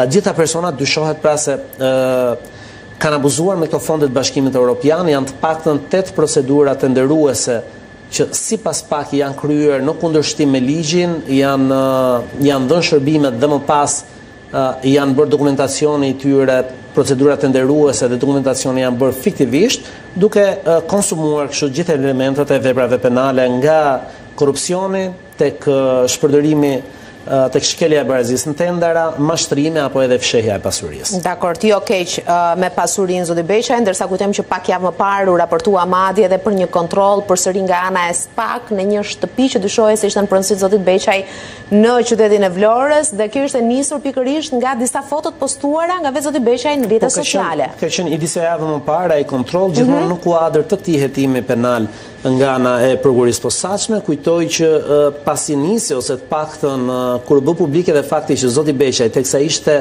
një person nën hetim për dosjen e sterilizimit, për cilën tashmë është i pandehur, teksa u mësua fakti që ishte edhe një hetim tjetër paralel ndaj tij, ka qenë pikërisht detaji i një kontrolli në banesën e zotit Beqaj, ku agjentët e Byrosë Kombëtare të Hetimit jo vetëm jo vetëm ushtruan një kontroll fizik në banesën e zotit Beqaj, por edhe Sekuestruan disa dokumente që gjetën në banesën e tij, por edhe aparatin e tij telefonik celular, aparatin e bashkëshortes apo edhe pajisje të tjera elektronike, të cilat zbërthimi i të cilave, kqyrja e të cilave shërbeu më pas edhe për ngritjen e dyshimeve që e çuan dhe në qelitë e paraburgimit zotin Beqaj.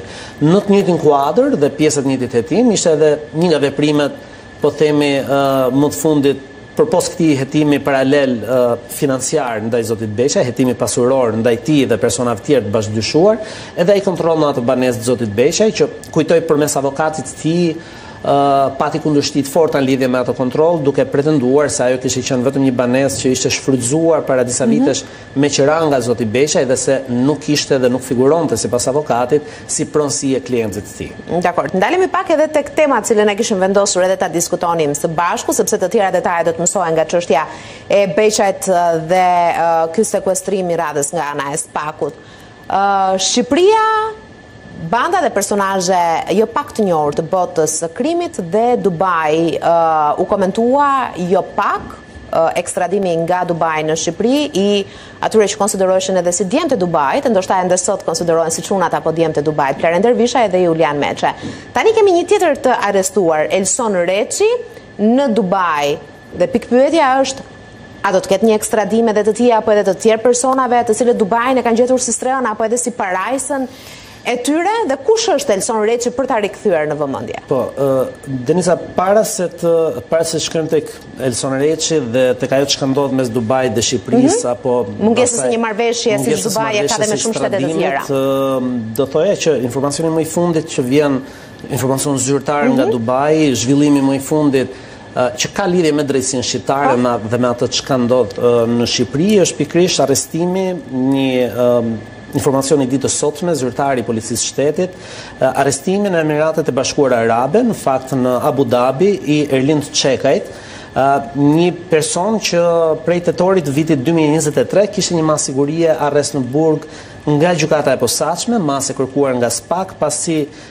Erlin Çekaj dyshohet për veprat penale të mashtrimit dhe kryer mashtrimi i kryer në formën e grupit të strukturuar kriminal, gjithmonë sa i takon platformave mashtruese me call centerat një vepër penale që është goditur së fundmi disa mhm. herë në disa dosje të veçanta hetimore nga ana e prokurorisë për krime në prokurorisë së posaçme SPAK. Edhe Erlin Çekaj është arrestuar në bashkëpunim të autoriteteve shqiptare dhe atyre të Emirateve të mhm. Bashkuara Arabe, po ashtu me qëllim ekstradimin në Shqipëri, duke shtuar po themi listën e personazheve të cilët Drejtësia shqiptare i pret. Drejtësia shqiptare i pret dhe personazhe të cilët gjejnë strehë dhe kanë gjetur strehë më herët, po flasim të paktën për për Erlin Çekajn që qëndronte prej prej gati një viti,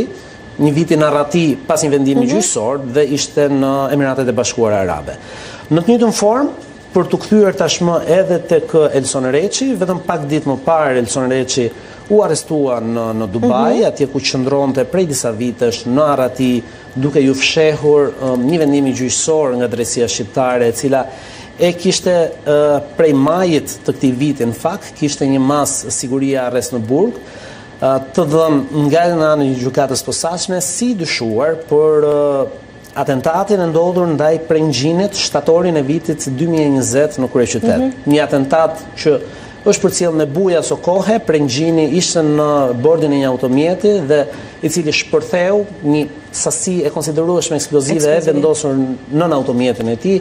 Fatmirësisht Preng Gjini vetëm u plagos nga ngjarja, nuk humbi jetën, por Më pas, edhe me informacionet e përftuara, gjithmonë në dosjen Revanshi, një dosje që zbërtheu disa, po themi, hasmëritë e botës së krimit në Shqipëri, kjo falë, falë sjelljes në duart e SPAK nga autoritetet partnere të drejtësisë, ato të cilat kanë mundur të dekriptojnë platformat e koduara Sky ECC dhe Encrochat. ku u konkludua se Elson Reçi ishte pikërisht qëndronte pas atentatit ndaj Preng Gjinit dhe po ashtu kishte siguruar kushte, pra për cilën është ngarkuar me barrën e përgjegjësisë për vrasje për gjakmarrje, por edhe grup të strukturuar kriminal dhe kryerje të veprave nga organizata kriminale, dhe jo veç pas këtij atentati, por edhe pas përgatitjes së kushteve për eliminimin e Preng Gjinit. Dhe gjithë kjo ngjarje pra e shtatorit dy mijë e njëzet, ishte si një hakmarrje, sipas SPAK të paktën, dyshohet të jetë si një hakmarrje për ngjarjen e ndodhur në janar të të njëjtit vit, eliminimin e Kastriot Reçit, xhaxhait të Elson Reçit në qendër të Rrëshenit, mhm. një eliminim i bërë me snajper, ende i i pazbardhur dhe i paidentifikuar mhm. autori të paktën i këtij atentati dhe të dyja këto ngjarje Po ashtu vijim i një sage përplasjesh dhe eliminimesh mes familjeve një konflikti disavjeçar mes familjes Reçi dhe Gjini në zonën e Mirditës. Elson Reçi u prangos në Dubai, u prangos me qëllim ekstradimin e tij në Shqipëri, do duhet të presim se sa do të mund të ekstradohet apo se sa do të ketë rezultat apo jo transferimi, sjellja e tij në Shqipëri.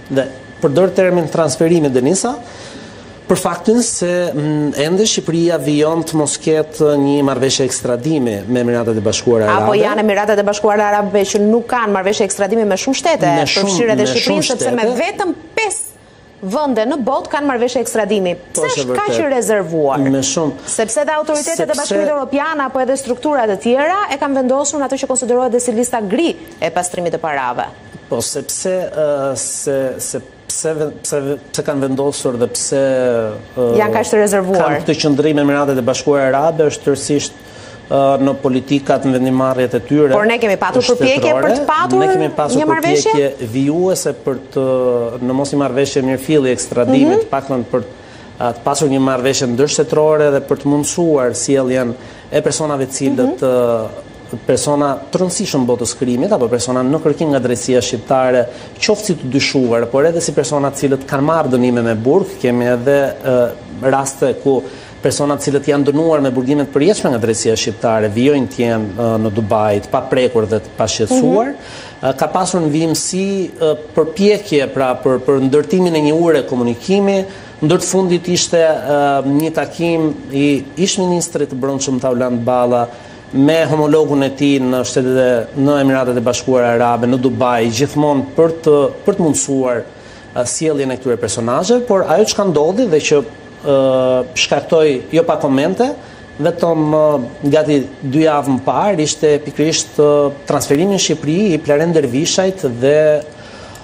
Julian Meçes. Dy persona të kërkuar. Ka detaje për dorëzimin e tyre nga Emiratet e Bashkuara në Shqipëri se ngjalli jo pak reagim, po, sepse nuk kemi një marrëveshje.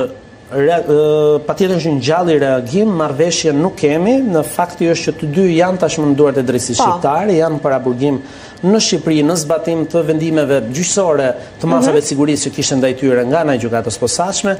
Të dy këta persona në fakt, jo më kot përmenda termin transferuar, pasi nuk po. kemi pasur një ekstradim të tyre.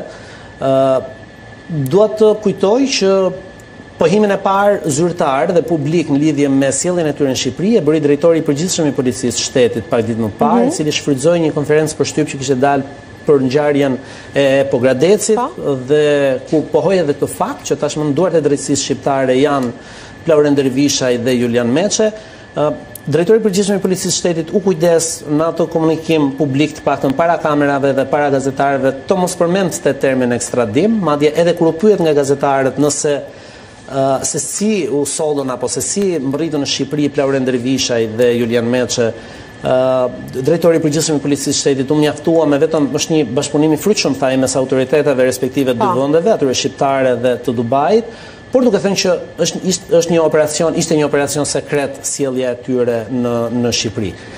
Ë uh, Ajo çka mund të themi tashmë, edhe me daljen e tyre në sallën e gjyqit për verifikimin e masave të sigurisë, kujtoj që Plaurent Dervishaj ndaj ndaj Julian Meçes ishte vetëm një masë sigurie që e lidh emrin e tij me ngjarje të dosjes revanshi me atentatin ndaj ish prokurorit Arjan Ndoja por edhe disa ngjarje tjera kriminale, ndërkohë që Plaurent Dervishaj kishte jo vetëm barrën penale të atentatit ndaj prokurorit Arjan Ndoja, atentat që përfundoi me dy të plagosur dhe një të vdekur dhe një të vrarë, por edhe sa i takon dy ngjarjeve tjera, një dosje hetimore mbi dy ngjarje tjera kriminale të ndodhura në vitin dy mijë e pesëmbëdhjetë, atë të vrasjes së Klodian Saliut dhe Vajdin Lamajt, Dhe duhet thënë në fakt që për Vajdin Lamaj akuza ndaj tij u pushua, u kërkua kur dosja shkoi për gjykim, u kërkua të pushohej nga SPAK. Por i mbetet barra e përfshirjes tij në ekzekutimin e Klodian Saliut në vitin 2015. Në sallën e gjyqit, Plaurent Dervishaj pretendoi dhe ngriti në fakt një nga pretendimet e tij kryesore, përveç se mohoi veprat penale të cilat ia vë mbi shpatulla prokuroria e posaçme, pretendoi se kishte qenë i paligjshëm sjellja e tij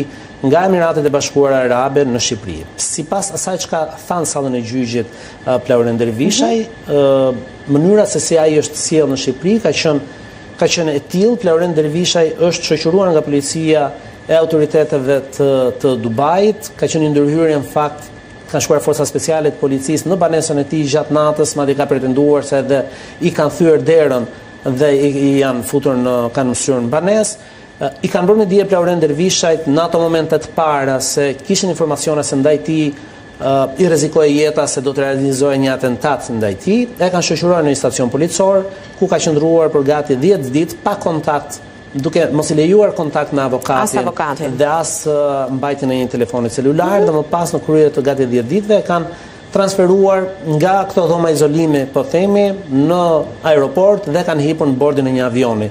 Të paprangosur, kujtoj pa pranga, kanë hipur në bordin e një avioni, një avion që ishte avion i linjës Abu Dhabi më ndjesë nga Dubai në Rinas.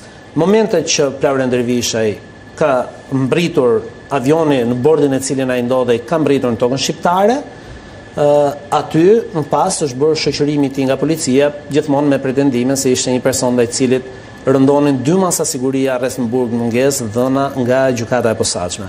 Dhe në sallën e gjyqit Plaurent Dervishaj ka këmbgulur se duke e cilësuar si të paligjshme pjesën po themi pjesën e Dubait mënyrën se si ai u soll, Ka ka pohuar se nuk, vetë dhe përmes avokatit që nuk nuk kishte të bënte me një ekstradim, nuk mm -hmm. kishim të bënim me një deportim, por kishim të bënim me një rrëmbim personi, ai mhm. kështu e cilësoi, por kjo i mbetet edhe këto kundërshti të ngritura në sallën e gjyqit, por edhe pretendime që i ka në drejtën e tij t'i bëjë dhe po. mbase të ndjekë dhe rrugën ligjore që ai dëshiron dhe ai vlerëson dhe mbrojtësit e tij vlerësojnë të ndjekin, ë pretendime të cilat ai mund t'i ngrejë vetëm kundër autoriteteve të Dubait, pra pretendime që mund t'i ngrejë në Dubai apo në një gjykatë ndërkombëtare për të vlerësuar ligjshmërinë apo shkelje të të drejtave të tij nga Dubai, por sa i takon drejtësisë shqiptare, SPAK Edhe në sallën e gjyqit atë ditë nuk është marrë fare dhe e thënë thjesht nuk i ka interesuar mënyra se si është sjellë apo procedura e sjelljes së tij në Shqipëri, për SPAK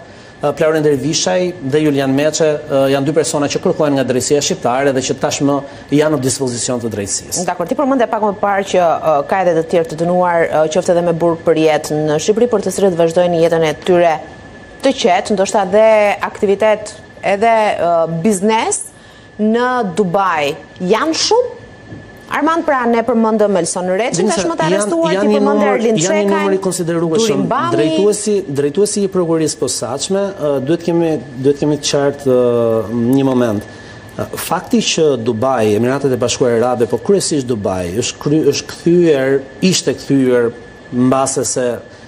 sjellja, transferimi i Plaurent Dervishajt dhe Julian Meçes duket që ka ka prishur pak qetësinë e gjithë personave mhm. që qëndrojnë atje apo nuk e ndjejnë më aq të sigurt tokën nën këmbët e tyre, nëse mund të jenë aq të pashqetësuar saç kanë qenë.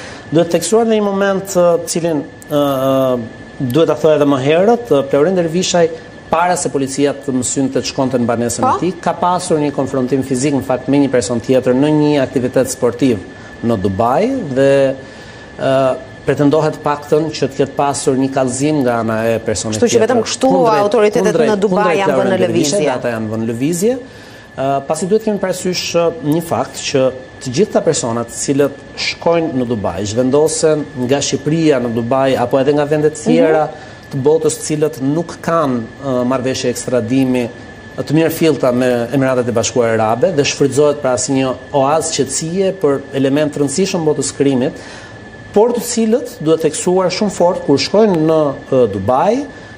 i nënshtrohen me shumë rigorozitet ligjeve dhe rregullave të të këtij shteti, të cilat duhet thënë që janë janë shumë rigoroze dhe shumë të ashpra dhe këta persona mund të qëndrojnë, përfshirë edhe shqiptarët, qëndrojnë të pashqetësuar, marrin të drejtën e rezidentit në në këto vende, lejohen edhe të investojnë, të investojnë shuma, ka ka persona shqiptarë, të cilët kanë investuar deri në miliona euro në në, në ndërtime mm -hmm. edhe hotelesh në në Dubai. Ë nuk kanë po themi të filtrin filtrin e burimit të pasurisë, pra nuk i intereson ë autoriteteve autoriteteve vendase burimi i pasurisë së tyre, por është shumë e rëndësishme që ata të mos përfshihen as në ngjarje kriminale dhe as mos mos kryejnë vepra penale. Të mos shkelin rregullat e vendit. Dhe të mos shkelin rregullat e vendit. Dhe kjo ka krijuar, po themi, ë jo vetëm që të jetë një oaz dhe të jetë një ë vend të jetë një parajsë në thonjza për botën e krimit të organizuar, por ndonëse shkojnë aty edhe anëtarë të grupeve rivale në mbase në Shqipëri, nuk përfshihen asnjëherë në në konflikte. Pra, konflikte që dy persona A dhe B, ë anëtarë të grupeve rivale në Shqipëri, që mund të kenë në Shqipëri, në momentin që ndodhen të dy në Dubai, nuk e çojnë ndërmend të paktën hesapet shqiptare t'i t'i t'i shlyejnë në Dubai. Patjetër që e kundërta ndodh, ë herë pas here ka rezultuar dhe nga hetimet prokurorisë posaçme, uh mhm. -huh. hesape shqiptare, porositen ngjarje kriminale në Shqipëri, po. porositen nga Dubai apo financohen nga njerëz nga Dubai, por nuk ndodh nuk ndodh e kundërta. Më pyete për një numër, nuk nuk mund të them një numër të saktë se sa persona qëndrojnë në Dubai, të paktën në një komunikim me në një komunikim të të drejtuesit e strukturës posaçme kundër krimit dhe të organizuar dhe korrupsionit, Na është pohuar që në burime zyrtare janë të paktën 7 personat, të cilat SPAK ka informacion zyrtar që ndodhen në në Dubai, por numri i tyre është është shumë më i madh se kaq, gjithmonë persona të cilët ende nuk janë lokalizuar apo nuk nuk rezulton e dokumentuar që ndodhen në këto vende. Dakord, do të mundohemi edhe ta ndjekim si çështje. Armand, faleminderit shumë që na solle detajet, por edhe lajmet e ditës.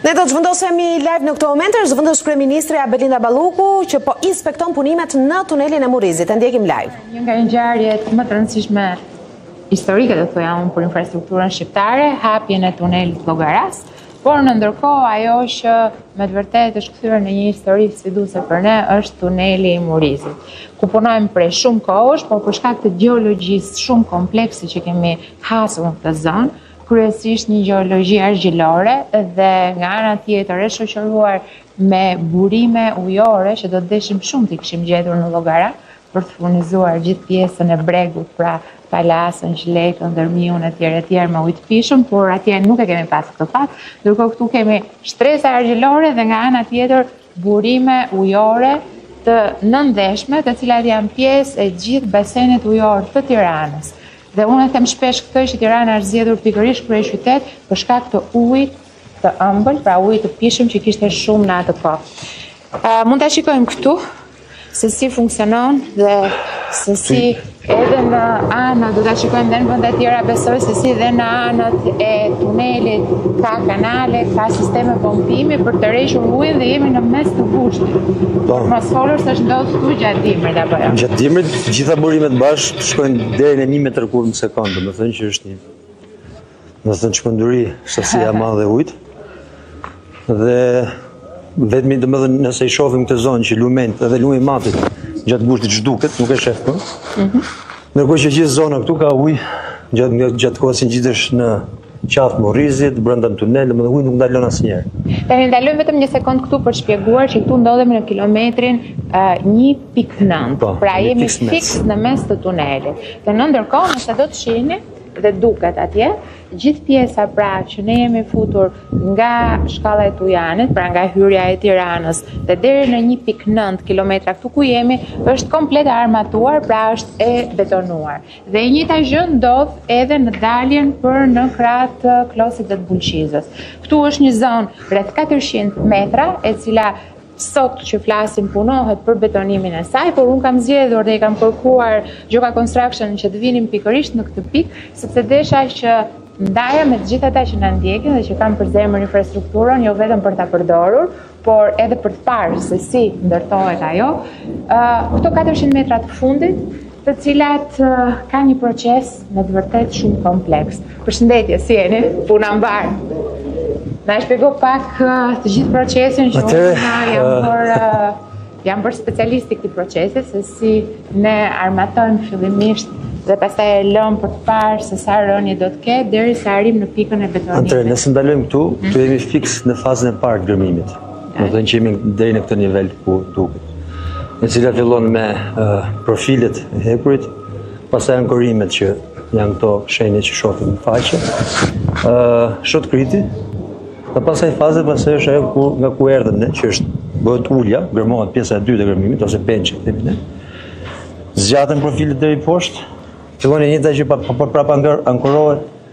Bëhet shotcrete dhe faza e tretë, që është ajo që do shohim pak më përpara, po të ecim përpara, është faza që bëjmë harkun e kundërt ose invertin. Domethënë, gjithçka çfarë bëjmë pjesën e sipërme të tunelit, e bëjmë edhe në pjesën e poshtme me profile hekuri, ankorime, dopjo zgarë dhe pastaj një pllakë betoni që shkon 1 deri në 1.5 metër, e gjitha e armuar. Para pak ditësh, uh, unë kam publikuar një foto e cila ishte me të vërtetë spektakolare, sepse tregonte të gjithë armatimin e brendshëm të tunelit në një formë rrethore.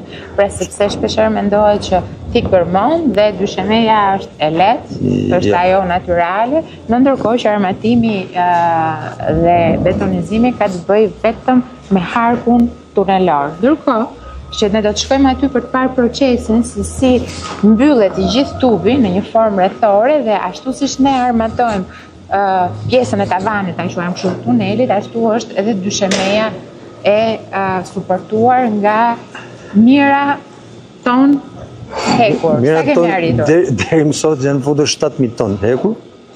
Vetëm hekuri i armimit. Ky është tub hekuri. Ky është një tonazh beton arme, themi, beton i armuar e gjitha.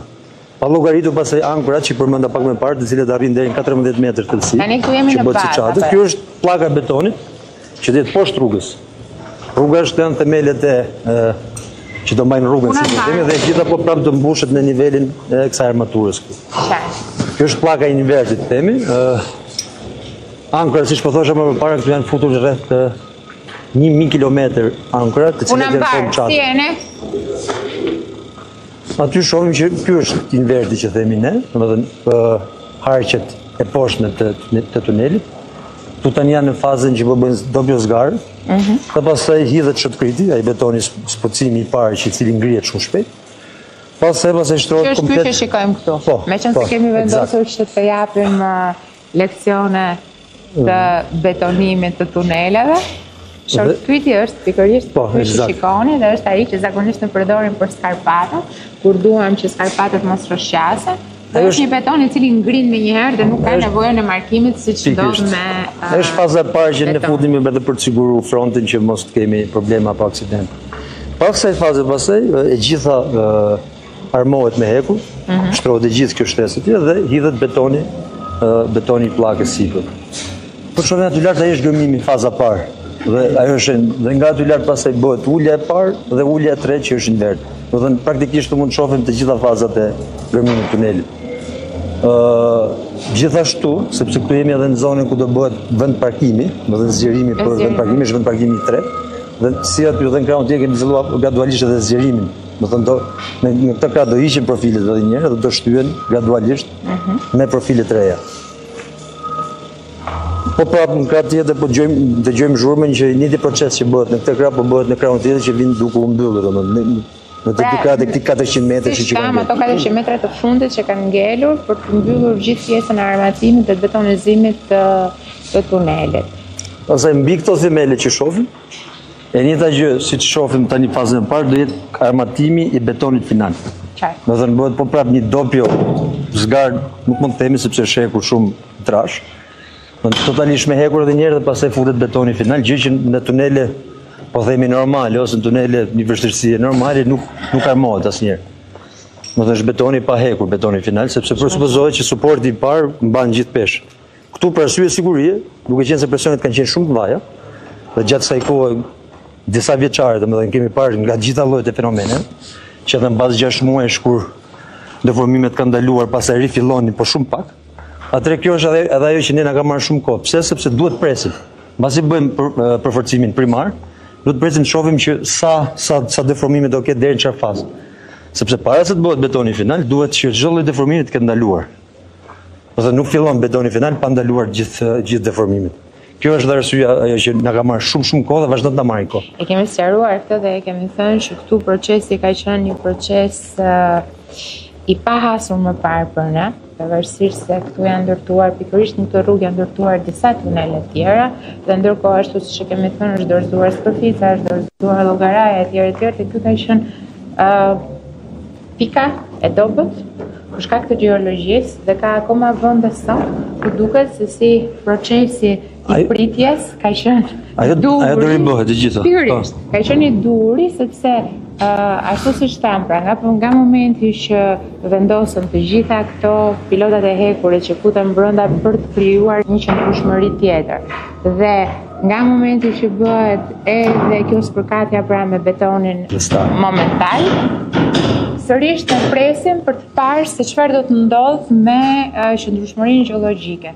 Dhe kjo është ajo që i ka dhënë më shumë vonesa procesit, por nga ana tjetër, sigurisht flitet për një tunel të një gjatësie 3.8 kilometra, pra një gjatësie Mesatarisht të madhe do ta quanim, jo sa Llogaraja që është 6 kilometra, por sërish ky është një tunel i konsiderueshëm dhe për këtë arsye nuk mund të lihej dhe të avancohej vetëm me le të themi elementin kohë, pra që duhet ta mbarojmë, duhet ta mbarojmë, duhet ta mbarojmë, duke lënë mënjanë elementët e sigurisë, kështu që siguria ka qenë primare. Ne ndërkohë që në krahun tonë të majtë Kemi një tjetër tunel që quhet tuneli i emergjencës dhe që ka pak a shumë të njëjtën gjatësi. Sa është totali i tunelit? 3.78, domethënë është 20 metër. Pothuajse pra po, 20 metra më pak. Ka një distancë rreth 25 metër deri në 30 metër nga njëri-tjetri. Mhm. Dhe dhe sa dalje ka? Me 11 dalje. Është 11 dalje. Që sipas standardit duhet të ishin 5. Po këtu kemi bërë 11 lidhje, pikërisht që ne të nxitonim. Saqë Llogaraja ka 11 gjithashtu apo? Po, që është që është 6 kilometra. 6 kilometra. Mhm. Këtë punë kemi bërë gjatë ndërtimit, pikërisht që ne të kishim mundësi që të kishim akses, nëse në një vend po themi si aty ishte e bllokuar rruga, atëherë me me këto daljet shtesë lidheshe me tunelin e emergjencës. Kalonim te tuneli tjetër, domethënë këto janë punë ekstra që po t'i mbledhësh te tunelet janë edhe disa metra ekstra Haxhi Tuneli, sepse të jenë xhepa shtesë. Në ndërkohë, ne kemi thënë tashmë që nuk japim afate kohore për Murrizin, pasi sido që të jetë prezenca e ujit nga çdo anë, sido që të jetë, koha ka treguar që kjo gjeologji është e paparashikueshme, Me gjithë dëshirën e mirë që kemi ne, i kemi vënë vetes disa deadline, disa afate që unë shpresoj shumë që t'i mbajmë, pasi ky është një akses i jashtëzakonshëm për në verilindjen e vendit dhe më pas për në veri, sigurisht. Dibra e ka shumë të rëndësishme këtë rrugë, po jo vetëm Dibra, pasi sot e gjithë krahina e Matit gjithashtu është duke u zhvilluar nga ana e agroturizmit dhe nga ana e njësive të tjera industriale. Duhet thënë që është një akses për në dy pika kufitare me Maqedoninë e Veriut dhe sigurisht është një nga rrugët më të rëndësishme që lidh kryeqytetin. Kështu që unë shpresoj shumë që ky tunel si përfundim dhe kurorëzim i kësaj vepre, pra i të gjithë rrugës së Arbrit, të mbyllet brenda vitit 2024 dhe me gjasa duket sikur gjërat po ecin, megjithatë edhe pak sepse Na ka ndodhur shpeshherë që të kemi elemente surprize. Do të kemi edhe pak nuk, fat. Nuk do të ish, nuk do të deshim që ë të krijonim duke folur pra për afatet, krijonim një problematikë tjetër. Megjithatë është kënaqësi shumë e madhe, unë sot tek përshkoja këto 2 km nga hyrja e Tiranës dhe tani do vazhdojmë drejtim të, të Dibrës sigurisht, tek përshkoja këto 2 km me të vërtetë tek e shikon, të kujton momentet e fundit para dorëzimit të Llogarasë. Kur situata aty dukej disi kaotike, por thjesht në një muaj, një muaj e gjysmë gjithçka u ngrit në atë nivel që sot qytetarët e Shqipërisë apo vizitorët e huaj e kalojnë dhe përveçse një vepër infrastrukturore shumë e rëndësishme është dhe një vepër arti që është punuar me finesë dhe që na bën shumë krenarë gjithë ne shqiptarëve. Um, unë shpresoj që mos kemi surpriza të tjera dhe viti ri ta gjejë Dibrën tek kalon përmes tunelit të Murrizit. Shumë faleminderit për inspektimin e sotëm, do qëndrojmë në kontakt, kemi shumë punë të tjera për të bërë në qarkun e Dibrës, në krahinën e Matit dhe të Dibrës, ashtu siç kanë dëshirë që të ndahen herë pas here dibranët dhe matjanët e mi, por me të vërtetë sot unë kam parë një progres të jashtëzakonshëm në këtë vepër dhe kisha shumë dëshirë që ta ndaja me ju. Të shemë së. Ovacione për çiftin Obama në natën e dytë të konventës kombëtare demokrate në Chicago, ish-presidenti kërkoi nga amerikanët të mbështesin Kamala Harris pasi sipas tij vendi është gati për një kapitull të ri. Ish-zonja e parë, Michelle, tha se me Harris ndan të njëjtat vlera.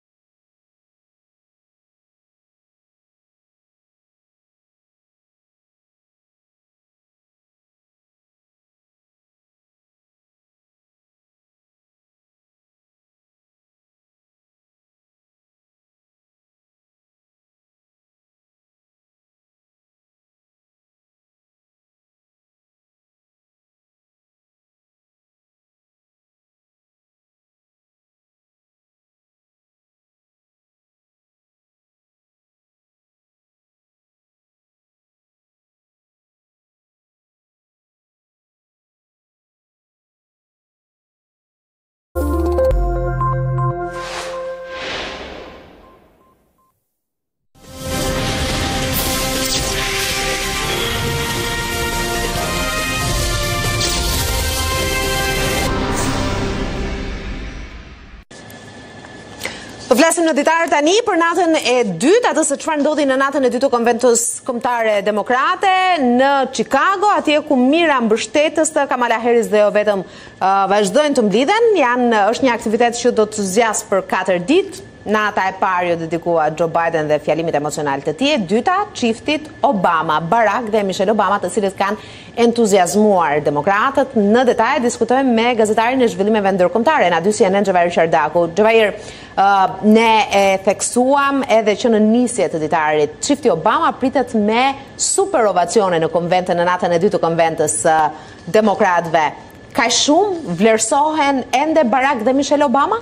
Madje shumë media amerikane duhet theksuar e kanë cilësuar si një vijimësi sikur është shkëputur nga administrata e tij, nga ajo presidenca e tij e vitit 2008 për 8 vite me radhë, sikur ishte një vazhdimësi, sikur si ishte ndaluar koha që prej asaj herë dhe vazhdonte Barack Obama dhe Michelle Obama të ishin respektivisht president i Shteteve të Bashkuara të Amerikës dhe zonja e parë. Ka pasur ovacione pa fund kur ata u ngjitën në skenë, prezantuan njëri-tjetrin, bënë shaka me njëri-tjetrin dhe dhanë mesazhe tepër të rëndësishme drejtuar kryesisht votuesve demokratë, por edhe të gjithë amerikanëve, duke krahasuar të dy kandidatët përballë njëri-tjetrit nga kampi tjetër republikan. Donald Trump dhe nga ana tjetër është ajo që konsiderohet edhe si një mikesha e tyre e çiftit Obama, që është Kamala Harris, një njohje e vjetër që në vitin 2007 ku ka shërbyer dhe ka ndihmuar Barack Obama në fushatën e tij që të zgjidhej president, pasi ka ndikuar, ka pasur një angazhim goxha të rëndësishëm në fushatën e Barack Obamës dhe tashmë është koha që Barack Obama dhe Michelle Obama t'i kthejnë nderin duke e ndihmuar Kamala Harris në fushatën e saj në, në mbrëmjen e dytë të konventës kombëtare demokrate, mesazhi më kryesor është lëshuar nga ish-presidenti Barack Obama, i cili kërkoi që të gjithë demokratët, por edhe amerikanët që të marrin pjesë në votime, të bëjnë zgjedhjen e tyre dhe të mbështesin Kamala Harris, pasi sipas tij në anën tjetër Është vazhdimi i një filmi që tashmë është parë për katër vite dhe siç e theksoi dhe zoti Obama, vazhdimi apo edhe ajo që pason pas këtij filmi zakonisht është më keq sesa ato katër vite, kështu që kërkoi që të votojnë Kamala Harris si demokratët si amerikanët në përgjithësi për të shmangur edhe katër vite të tjera të mbushura me kaos, trazira dhe probleme të shumta Dhe nga ana tjetër ka pasur sulme edhe nga Michelle Obama në drejtim të zotit Trump, por edhe të republikanëve, për shkak të një deklarate që është lëshuar kryesisht nga nga kampi republikan duke akuzuar emigrantët e paligjshëm se po tentojnë që të të marrin apo të rrëmbejnë vendet e punës që janë të predispozuara për personat me ngjyrë, pra amerikanët me ngjyrë, duke theksuar që ndoshta zoti Trump nuk e di ishin fjalët e Michelle Obamës, ish zonjës së parë, ndoshta zoti Trump nuk e di, por edhe posti i presidentit është një prej atyre që u përket personave me ngjyrë, pra duke bërë kështu edhe një lloj ironie me këto deklarata, nga ana tjetër ka qenë edhe vetë Obama i cili ka theksuar atë çfarë është në rrezik sipas tij, duke theksuar që tashmë ka ardhur koha që me zonjën Harris të nisë një kapitull i ri Në politikën amerikane, por edhe në botë në tërësi, duke theksuar që tashmë hapi duhet të ndërmerret që sipas tij të mbështetet zonja Harris në zgjedhjet presidenciale. Ka një ndryshim të strategjisë apo edhe të mënyrës së komunikimit të çiftit Obama, të të dyve, dhe Barack dhe Michelle Obamës për kandidaturën apo mbështetjen që ato kanë shprehur edhe publikisht për zonjën Harris sepse kujtoj që në atë të diel të gati një muaj më parë kur Joe Biden papritur njoftoi që nuk do të kandidojë për një mandat të dytë dhe ia linte stafetën zonjës Harris, çifti Obama thjesht vlerësoi këtë xhest të zotit Biden, por nuk shprehu publikisht mbështetje për kandidaturën e zonjës Harris. Çfarë ndryshoi në këtë një muaj apo fakti që u përfol shumë zonja Obama si një ndër kandidaturat që mund të ishte edhe pretendenta apo e nominuar e demokratëve Dhe pastaj nuk gjeti mbështetje rrugës, bëri që automatikisht mbështetja të shkojë për zonjën Harris. Pra çfarë ndodhi në këtë një muaj? Është e drejtë faktikisht që ka pasur një hezitim nga çifti mhm. Obama për të mbështetur që në minutat e para, po. orët e para zonjën Harris, siç ndodhi me zonjën Clinton apo të tjerë, siç ndodhi me zonjën Clinton apo edhe me funksionarë apo zyrtarë figura të larta të demokratëve, të partisë demokrate, nuk ndodhi kështu, ka pasur një hezitim, ka qenë i pari presidenti Joe Biden që njoftoi tërheqjen në të njëjtën kohë, në të njëjtin njoftim bëri të ditur edhe mbështetjen e zonjës Harris po. për t'i kaluar kështu pishtarin, siç është theksuar mhm. edhe nga vetë zoti Biden në natën e parë të konventës demokrate, po ashtu edhe nga Obama, por ajo çfarë ndryshoi, le të themi kështu, ndoshta kanë qenë llogaritje pasi u kuotua shumë që zonja Obama, Michelle Obama mund të ishte një kandidate e denjë dhe madje të paktën sipas disa sondazheve të publikuara nga mediat amerikane, konsiderohej si më favorite në krahasim me zonjën Harris për të sfiduar Donald Trump nga ana tjetër nga partia republikane dhe që kishte një shans më të madh për ta mposhtur atë në zgjedhjet presidenciale të nëntorit të këtij viti Megjithatë, duket që ka ndryshuar disi edhe balanca brenda Partisë Demokrate, pasi aty është bërë edhe beteja më e madhe se kush do të ishte figura që do të unifikonte në tërësi Partinë Demokrate, por gjithashtu edhe do të kishte një shans real për të mposhtur Donald Trump, pasi një ndër arsyet kryesore që shtynë apo detyruan Joe Biden të tërhiqej ishte shanse që po i pakësoheshin dita ditës, në krahasim me rivalin Donald Trump që favorizohej dhe thuajse e jepnin të fituar apo presidentin e ardhshëm të Shteteve të Bashkuara të Amerikës edhe pa u mbajtur zgjedhjet për shkak të humbjes së tmerrshme që pësoi në debatin përballë tij në muajin qershor. Por, ende nuk e dimë se çfarë ka ndryshuar brenda partisë demokratike që bëri edhe solli zyrtarizimin e kësaj lëvizje që Zonja Harris ishte një kandidate e vetme, të mos kishte përballë asnjë rival që mund mhm. ta sfidonte atë, ndoshta ka qenë edhe konsultimet e brendshme mes palëve, theksojmë këtu çiftin Obama në njërën anë dhe zonjën Harris në anën tjetër, pasi të dyja palët konsiderohen me njëra tjetrën që janë miq të afërt dhe mhm. kanë bashkëpunim, kanë edhe bisedime të shpeshta të paktën për jetën politike, për zhvillimet në vend dhe këtë e ka treguar fakti edhe i prezencës së tyre në natën e dytë të konventës kombëtare demokrate. Por ajo çfarë u vu në apo u vu re apo që kishte një dallohej lehtë, le ta themi kështu, ishte ovacionet që ishin më të mëdha hera herës për zonjën Obama se sa për Barack Obamën, pra ishin fjalimet e saj dhe madje kur e prezantoi uh, Michelle Obama bashkëshortin e saj, tha që prezantojnë presidentin Barack Obama dashurinë e jetës sime dhe të gjitha këto gjëra dhe fjalia e parë që zgjodhi Barack Obama të niste atë adresimin e tij ishte që unë e di se sa e vështirë është të jem këtu në këtë podium pas Michelle Obamës dhe pas atyre ovacioneve që mori. Ajo mund të jetë një kandidaturë që mund të shqyrtohet nga demokratët edhe për zgjedhjet e ardhshme në Shtetet e Bashkuara të Amerikës, ato të dy mijë e njëzet e tetës, megjithatë mbetet për t'u parë. Nëse pamë batuta, buzëqeshje, ovacione, duartrokitje të gjata e të zjarrta në një natë ku nuk ka munguar edhe festa, muzika, spektakli, sikurse dhe trazirat jashtë arenës ku mbahet Konventa e Demokratëve, e cila do të zgjasë për katër ditë, nata e parë ishte disi më e qetë dhe më emocionale, e çelur nga presidenti aktual, Joe Biden, i cili herë pas here pati edhe lot. Apo jo? Ishte i zoti i shpisë ai që e hapi festën, apo atë event, le të themi kështu, që ishte presidenti në largim tashmë i Shteteve të Bashkuara të Amerikës, Joe Biden, në një fjalim tepër emocional i dha lamtumirën partisë së tij, të gjithë mbështetësve amerikanë, që i kanë besuar këto 4 vite në një fjalim tepër emocional, gjithashtu dhe ai duke vendosur në peshoren e tij çfarë ishte në rrezik, Paktën për Shtetet e Bashkuara të Amerikës që ishte vazhdimësia e politikave të tij dhe mhm. ideologjisë së Partisë Demokratike për të udhëhequr vendin edhe për katër vite të tjera, por me një tjetër emër që ishte Kamala Harris dhe nga ana tjetër ajo çfarë rrezikon nëse në pushtet do të vinte sërish Donald Trump që do të sillte të gjitha ato problematikat që të paktën sipas demokratëve konsideron që e kanë kthyer vendin shumë vite pas dhe tashmë po rikuperohet me qeverisjen e tyre. Dhe nga ana tjetër, natyrisht që i ka dhënë edhe lamtumirën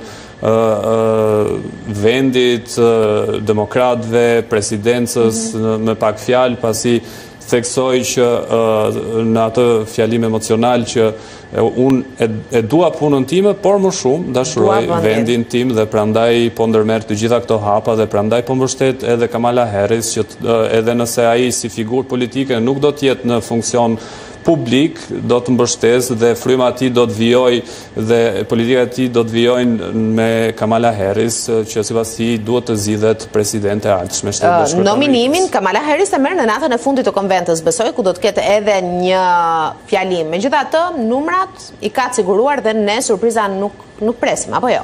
Në mbrëmjen e dytë faktikisht u bë dhe numrimi apo edhe dhënia e votave për secilin shtet në kampin demokrat lidhur me, me të nominuarin zyrtar dhe tashmë votat i ka, i ka marrë. Zonja Harris i ka i janë numruar, ka dalë dhe rezultati, i është bërë e ditur dhe ajo të paktën simbolikisht me anë të një videolidhje ka pranuar nominimin e demokratëve që të jetë ajo që do t'i përfaqësojë në garën përballë Donald Trump në nëntor për zgjedhjet presidenciale. Megjithatë, të enjten ku do të mbahet edhe nata finale dhe ajo përmbyllëse, do të jetë një fjalim përmbyllës nga vetë zonja Harris dhe i zgjedhuri i saj si kandidat për nënpresident Tim Walz.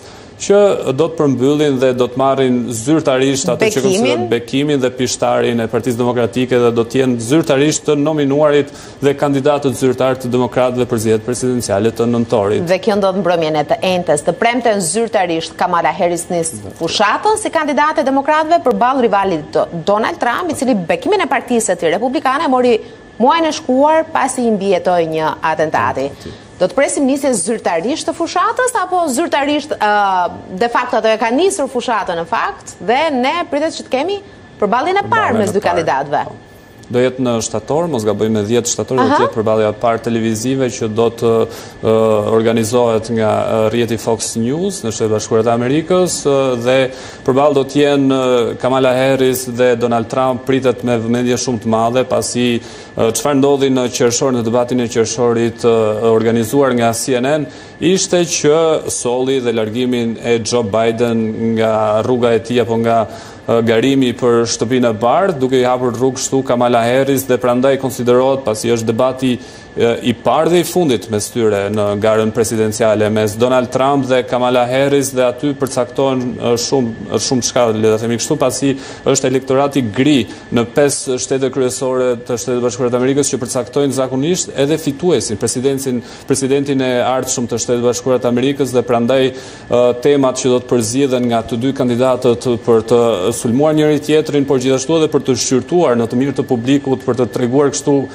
dhe politikat edhe premtimet e tyre dhe vizionin e tyre, jo vetëm për Amerikën e katër viteve që do të pasojnë, por për mbarë botën do të ketë një interes të jashtëzakonshëm për këtë debat, pasi tashmë nuk do të jetë një Joe Biden i, i le ta themi kështu, jo aq efikas në në debatet, por do të jetë një Kamala Harris që pritet të jetë e zjarrtë, paktën sipas demokratëve dhe po bën përgatitje pikërisht për këtë përballje në debatin mes tyre dhe nga ana tjetër shihet qartë apo dallohet qartë edhe frika apo paniku disi në një farë mënyre në kampin republikan dhe tashmë po shqyrtohet Kjo edhe për shkak të sondazheve të fundit që e tregojnë zonjën Harris në epërsi edhe në ato që konsiderohen si shtete kyçe. Dhe madje kjo kjo ka çuar edhe në shqyrtimin nëse fushata e, e zotit Trump duhet të ndryshojë drejtuesit e saj apo duhet të ndryshojë qasje pikërisht për të fituar këto pikët e humbura të paktën në këto në këto javë të fundit dhe në pritje të përballjes e cila ndoshta edhe mund të vulosë që aty se kush kush mund të jetë presidenti i ardhshëm, pra është një debat që ose do e ngrejë kandidatët lart po. ose do i fundosë. Dakord, dhe nëse flasim për Donald Trump, por edhe për zonjën Harris, në fakt kanë patur një gjuhë agresive edhe teksa kanë akuzuar në distancë njëri-tjetrin, kështu që mbetet për t'u parë çfarë ndodh deri në 10 shtator. Mos ndoshta zoti Trump e ka marrë shumë të mirëqenë fitoren ndaj zonjës Harris dhe ndihet i pashqetësuar apo i pacënuar Prej saj ndoshta përballë do të kishte dashur një tjetër rival, ndoshta Michelle Obama-n, se është pyetur në një intervistë televizive, apo jo, për Obama-t, por është pyetur për Barack Obama-n, në fakt. Për Barack Obama-n, ka qenë një gazetar i CNN që ka pyetur në një kohë kur në skenë kishte dalë çifti Obama për të mbajtur fjalimin e tyre, se çfarë opinioni kishte dhe çfarë raporti kishte me çiftin Obama, Dhe është kujdesur disi që të paktën fjalët të ishin të zgjedhura, të mos kishte ofendime për çiftin Obama, madje surprizues ka qenë fakti që Donald Trump i respektonte çiftin Obama, veçanërisht edhe e respektonte deri një farë pike punën e ish-presidentit amerikan Barack Obama, por kritika të shumta pati në sektorin e tregtisë që sipas tij puna e presidentit Barack Obama ka dështuar në fushën e tregtisë, veçanërisht në raportet Me Kinën dhe Japoninë e kemi ndarë edhe këtë pjesë, këtë moment të intervistës të zotit Trump, ju ftoj ta ndjekim. Kam menduar se ai ishte një president i dështuar, ai nuk e përfundoi punën. Ai lejoi disa gjëra të ndodhnin, të cilat të duheshin shmangur, lejoi që njerëzit të përfitonin nga ne në fushën e tregtisë, Ai ishte shumë i dobët në atë sektor. E pëlqej atë, mendoj se është zotëri i mirë, por shumë i dobët në tregti. Mjafton që të shikoni se çfarë ka ndodhur në vendin tonë në atë sektor ishte një tmerr. Shikoni Japoninë dhe Kinën. Shikoni çfarë ka ndodhur me disa prej këtyre vendeve, çfarë ato bënë. Por mua më pëlqen ai, e respektoj atë dhe bashkëshorten e tij. Dakord, ishte edhe Donald Trump i pyetur për çiftin Obama, nuk e dimë se sa të angazhuar do të jenë në fushatë, besoj do t'i shohim në krah të zonjës Harris, sikurse edhe zonjën Clinton apo emra të tjerë me peshë mes demokratëve? Pa diskutim që do të jenë pjesë e fushatës, pasi kanë dhënë edhe mbështetjen e tyre dhe kanë konfirmuar që rezultati apo sondazhet tregojnë një diferencë mjaft delikate mes të dyve dhe prandaj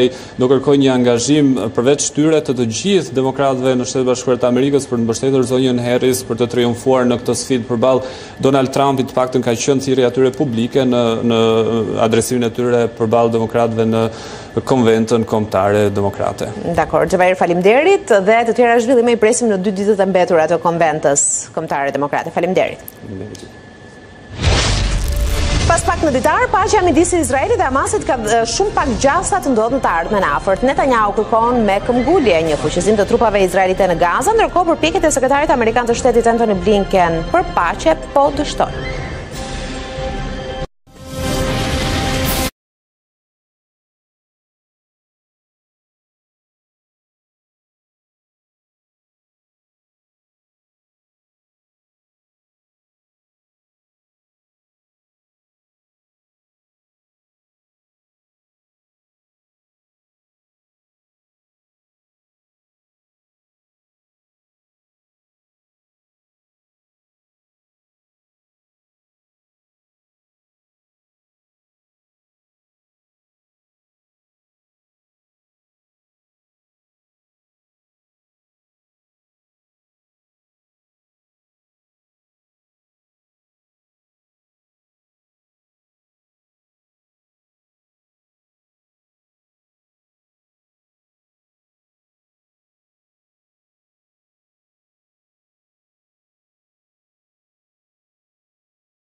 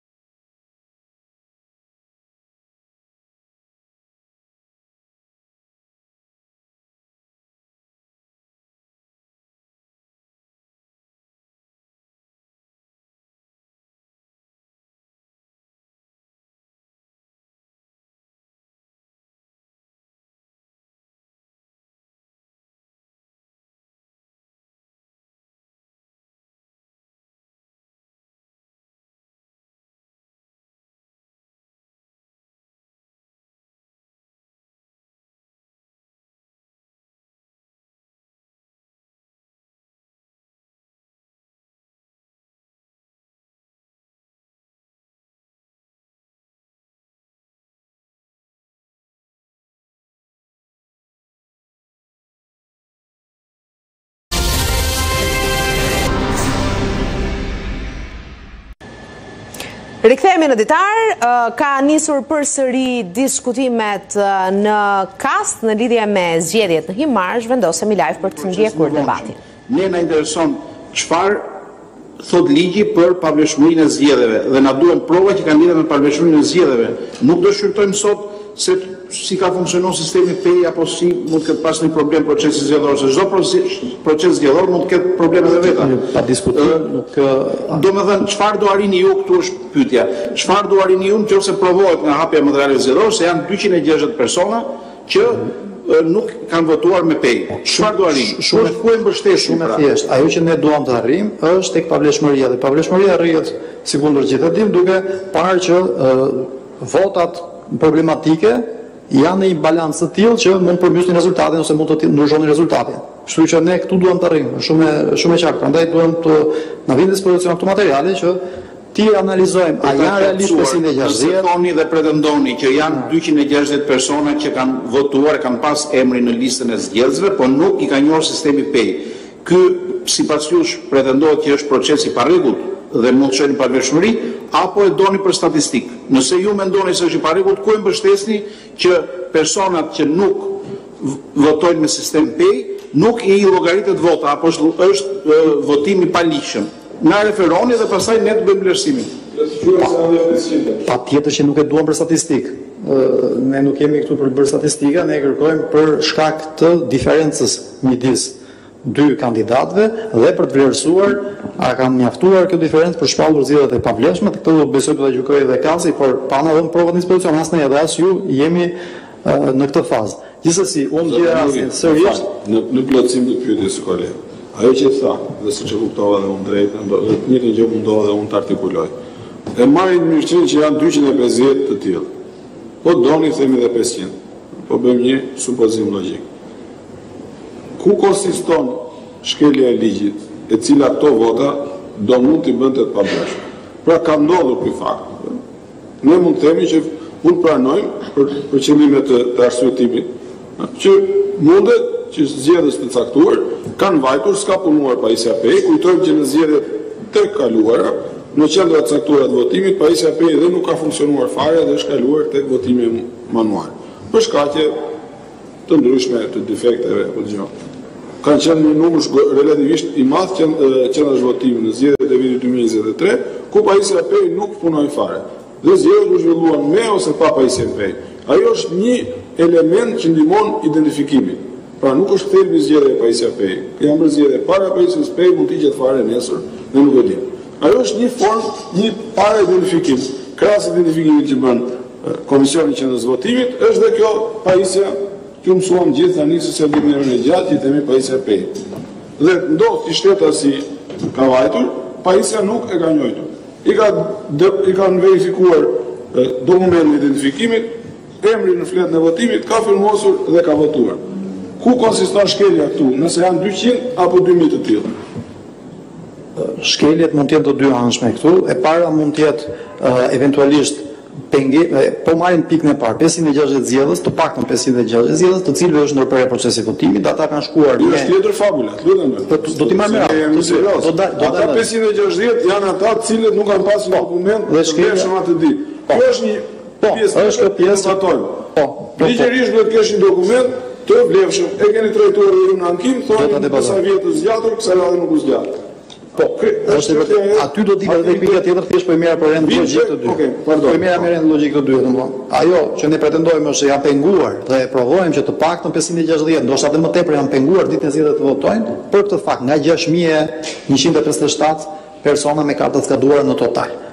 por kjo shifër mund të jetë më e madhe, por eventualisht nga informacionet që janë hapur ditën e zgjedhjeve që po pengoheshin votonin janë stepur dhe janë tërhequr një numër më i madh votuesish që nuk kanë shkuar fare të paraqiten dhe nuk e kanë iniciuar procesin e votimit, pra nuk e kanë çekuar fare kartën, sepse i kanë thënë ata që janë kthyer që mos shkoni fare se s'po lejohet votohet, ndryshe nga herët e tjera. Pra kjo është elementi i parë. Elementi i dytë, fal 260 votuesit. Çfarë? Ama në tre palë zgjedhje kanë votuar? Kush i ka penguar ata? Në tre palë zgjedhje tjera kanë votuar me karta skaduar apo jo?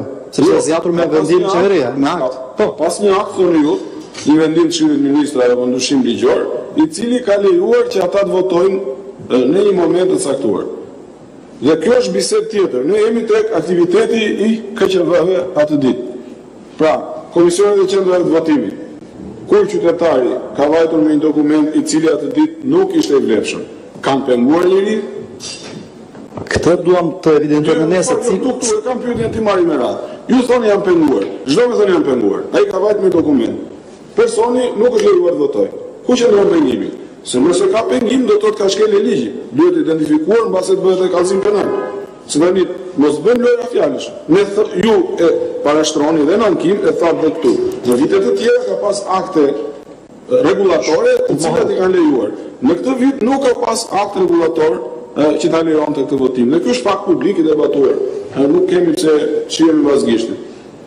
Nuk jemi ne kasti që do vlerësojmë duhej apo s'duhej një akt i tillë, është bisedë tjetër. Çështja është, këta shtetas, pesëqind e gjashtëdhjetë apo gjashtë mijë të tillë, këta shtetas atë ditë mund të votonin me atë dokument sipas kuadrit ligjor në fuqi? Ne kemi informacione që ka patur disa raste që kanë votuar edhe me dokumenta të skaduara, Edhe, po ky është ndoshta debat tjetër. Po. Por ajo që thelbi i kërkesës tonë ka, dhe çfarë duam ne të demonstrojmë. Një deri zoti Nuri. Thjesht këta shtetas mund të votonin me këto dokumenta apo jo? Ka pasur në zgjedhjet e kaluara kanë votuar, nuk diskutohet sepse është shtuar vlefshmëria. Dhe kësaj radhe është cënuar siguria juridike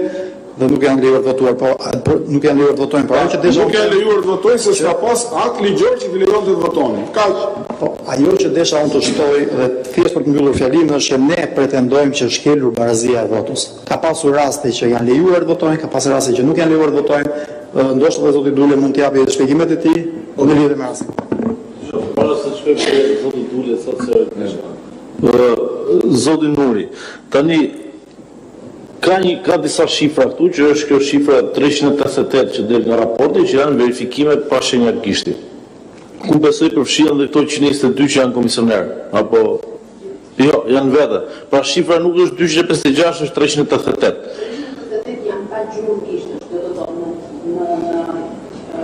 Në mikrofon.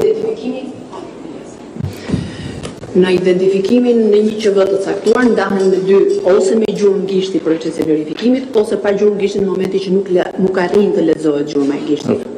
Kjo është ndarja thelbësore. Pastaj pjesa tjetër, çfarë kemi më janë le të themi specifika të veçanta të tipit lista e zgjedhësve të veçantë, ë, Po, po, këtë e kuptova. Ok, ka pasur raste që votuesi ka pasur një dokument të vlefshëm përpara këtij pesëmbëdhjetë ditorit, por që sipas sistemit ishte i pavlefshëm. Ka pasur raste të tilla, nëse zoti Nuri mund të japë një përgjigje. Keni indicie për raste të tilla, pra një kartë identiteti e lëshuar më parë në kohë, por që sipas sistemit dilte e pavlefshme? Po, faleminderit për pyetjen. Ja dhe dokumenti që ka sjellë vetë KQZ-ja në dispozicion. Ky dokument këtu që sapo na u vu në dispozicion. Me numër protokolli dyqind e dy mijë e dyqind e njëzet e tre fraksion dy i Drejtorisë Përgjithshme të Gjendjes Civile, çfarë thotë? Këtu lë të kuptohet që janë të paktën dyqind e pesëdhjetë e gjashtë persona që janë identifikuar me PEI dhe sipas dhënave të Gjendjes Civile dalin se dokumentet ishin të pavlefshme. Janë të identifikuar ndërkohë që dokumentat dilin të pavlefshme sipas Gjendjes Civile. Tani ne dhe ju nuk e dini se sa mund të jenë kthyer mbrapsht aty. Cili dokument është ky? Ky këtu. Gjon Cevina. Është 222 e frikë. Sa i numër të caktuar që? Të bëj një sqarim të lutem. Ishte data 2 i tetë, ja? Po, 2 i tetë. Pra ka një indicie. Dy ditë para. Po. Pra ka një indicie në vlerësimin tonë, me aq sa unë lexoj këto dhe aq sa po arrij të kuptoj tani me një kohë shumë të shkurtër dhe nuk është se patëm dhe kohën të analizojmë të gjitha elementet, që ka pasur që ka votuar ndërkohë që dilte sipas të dhënave civile që kartat ose pasaportat janë skaduar. Atë në këtë rast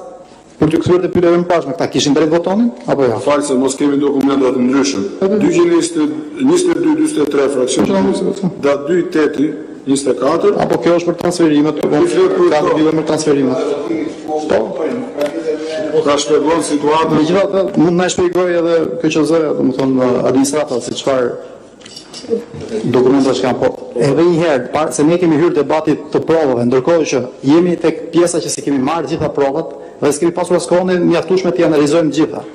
Ndoshta do t'i kishim marrë gjërat me radhë. Megjithatë, zoti Dule nuk e di çfarë kishte për të shtuar.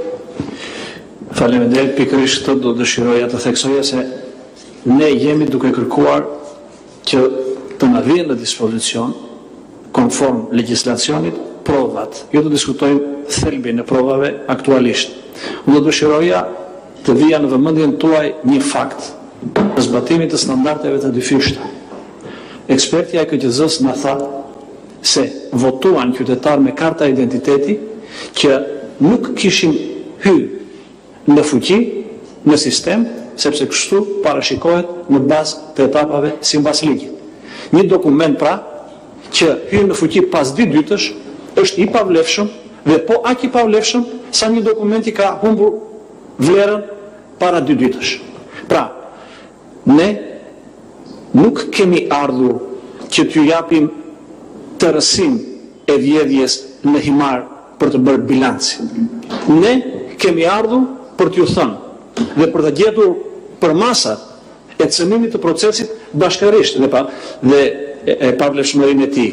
Është njësoj sikur të gjesh sejfin e bankës të hapur dhe të kërkosh të bësh vlerësimin e dëmit pa bërë numërimet e caktuara, pra është e domosdoshme të na vihen në dispozicion provat që kërkohen prej nesh për të parë dimensionin e cënimit të procesit që shkon me proces logjik dhe më pas edhe matematik në pavlefshmërinë e këtij procesi.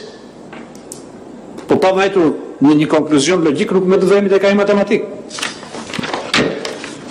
Vetëm një jo për debat, po ajo që tha përfaqësuesja e KQZ-së, në qoftë se unë e kam kuptuar drejt të sqaroj dhe unë të jem ndihem vetë i sqaruar, u fol për karta të cilat ditën... Zhvendosemi pak çaste nga mbledhja e KAS, është zoti Meta, president i Partisë së Lirisë në këtë komunikim me gazetarët. Taksat tona, pikërisht, për të kontrolluar çdo produkt, të gjitha mbetjet, pasojat e tyre në mjedis, destinacionet e tyre finale dhe janë direkt përgjegjëse për akte kaq të rënda kriminale, me pasoja të drejtpërdrejta për shëndetin dhe jetën e qytetarëve shqiptarë jo vetëm aktualisht por edhe brez pas brezi.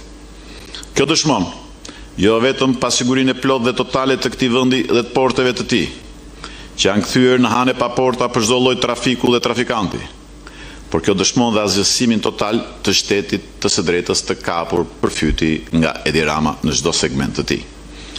Të gjithë fermerët në vendin tonë janë dëshmitarë që kjo qeveri që nuk toleron një furgon me shalqi, apo me domate të qarkullojë në rrugët e Shqipërisë pa fatura dhe dokumentacion.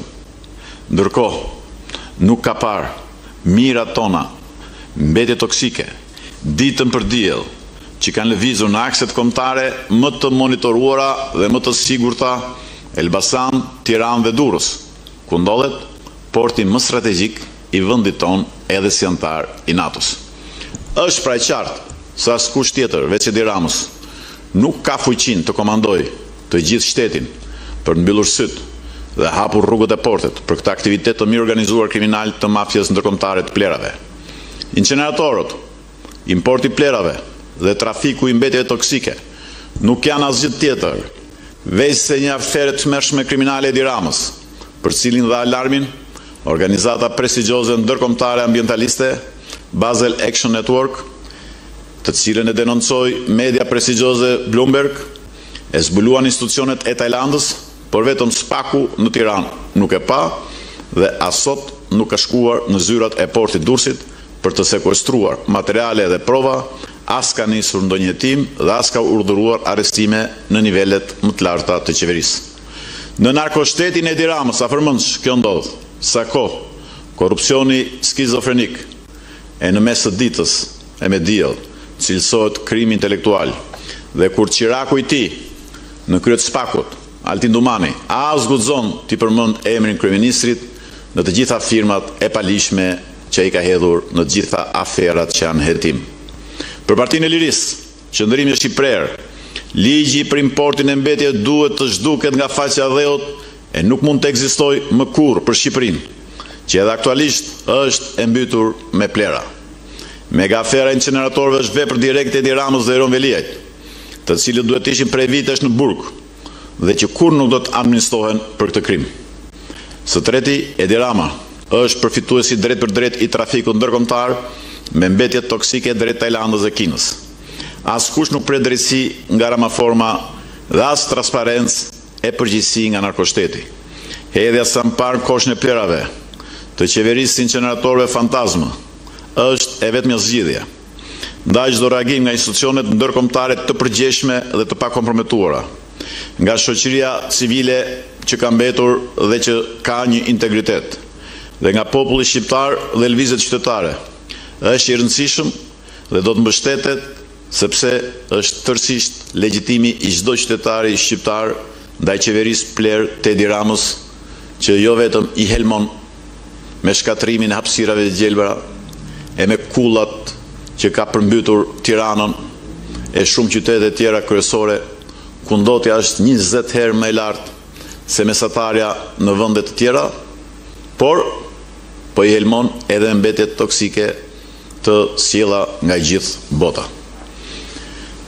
Ndërkohë, jemi këtu për të evidentuar Edhe një herë tjetër, një prioritet shumë të rëndësishëm për vendin e sidomos për Partinë e Lirisë në kuadër të programit të saj konkret të miratuar në Konventën Historike të njëzet e shtatë Prillit, atë të pesë prioriteteve për katër milionë shqiptarë plus, që në fokus kanë qytetarin mirëqenien e tij, ndalimin e shpopullimit dramatik, arsimin dhe investimin në kapitalin njerëzor, zhvillimin ekonominë dhe begatinë e vendit përmes një Shqipërie si fuqi eksportuese. Bujqësia dhe blegtoria është një nga pesë prioritetet tona kryesore dhe kyçe për të sotmen dhe për të ardhmen e Shqipërisë. Ndaj, ne angazhohemi për mbështetje direkte, për fermerët, përmes pagesave direkte dhe përmes mbështetjes direkte përmes masave konkrete. Partia e Lirisë do ta mbështesë bujqësinë me tridhjetë miliardë lekë të reja çdo vit dhe me indeksim progresiv në vitet në vazhdim.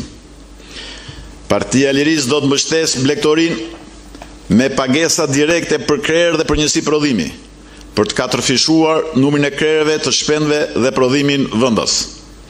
Pagesë grant të menjëhershme do të ketë prej dhjetë mijë eurosh për çdo biznes të ri bujqësor familjar të krijuar dhe përjashtim të tij nga taksat dhe tatimet për pesë vitet e para. TVSH zero për ushqimin e bagëtive dhe shpendëve të mishit. Pagesë direkte për vreshtat. me një mijë euro për hektar ose njëqind euro për dynim. Pagesë direkte për pemishtet, pesëqind euro për hektar ose pesëdhjetë euro për dynim. Pagesë direkte për sasinë e dorëzuar të frutave, zero pikë dy euro për kilogram. Pagesë direkte me zero pikë tetë euro për litër vaj ulliri të prodhuar në fabrikat apo punishtet e certifikuara. Pagesë direkte për fidanët e frutikulturës me zero pikë njëzet e pesë euro për fidan. Pagesë direkte për sipërfaqet e mbjella me perime në fushë të hapur me një mijë euro për hektar ose njëqind euro dynim dhe pa kufizim të sezonit të mbjelljeve. Pagesë direkte për sipërfaqet e mbjella me perime në sera me tre mijë e pesëqind euro për hektar ose treqind e pesëdhjetë euro për një dynim, dhe pa kufizim të sezonit të mbjelljeve. Pagesë direkte për bimët mjekësore dhe aromatike, një mijë euro për hektar ose njëqind euro dynim, pa kufizim të sezonit të mbjelljeve. Pagesë direkte për bujqësinë organike të certifikuar, me treqind euro për hektar. Pagesë direkte për çdo kokë lopë nga tetëdhjetë euro në dyqind euro. Pagesë direkte për çdo krerë, dele apo dhi, nga dymbëdhjetë euro në gjashtëdhjetë euro. Financimi i fermave blegtorale do të jetë me dyqind euro për krerë lopë dhe pragu i përfitimit nuk do të jetë dhjetë, sa ç'është sot. Se me dhjetë është e pamundur. Janë shumë pak ata që kanë dhjetë lopë, se mbash sot dhjetë lopë do të thotë të kesh njëzet mijë euro ose njëzet milion lekë që nuk kanë ku t'i gjejnë fermerët që shteti i shkatërron me politikat e veta në favor të importeve edhe me të gjitha llojet e taksave dhe pengesa që nxjerr. Prandaj do të jetë nga dhjetë që e ka sot, do të jetë në tre krerë.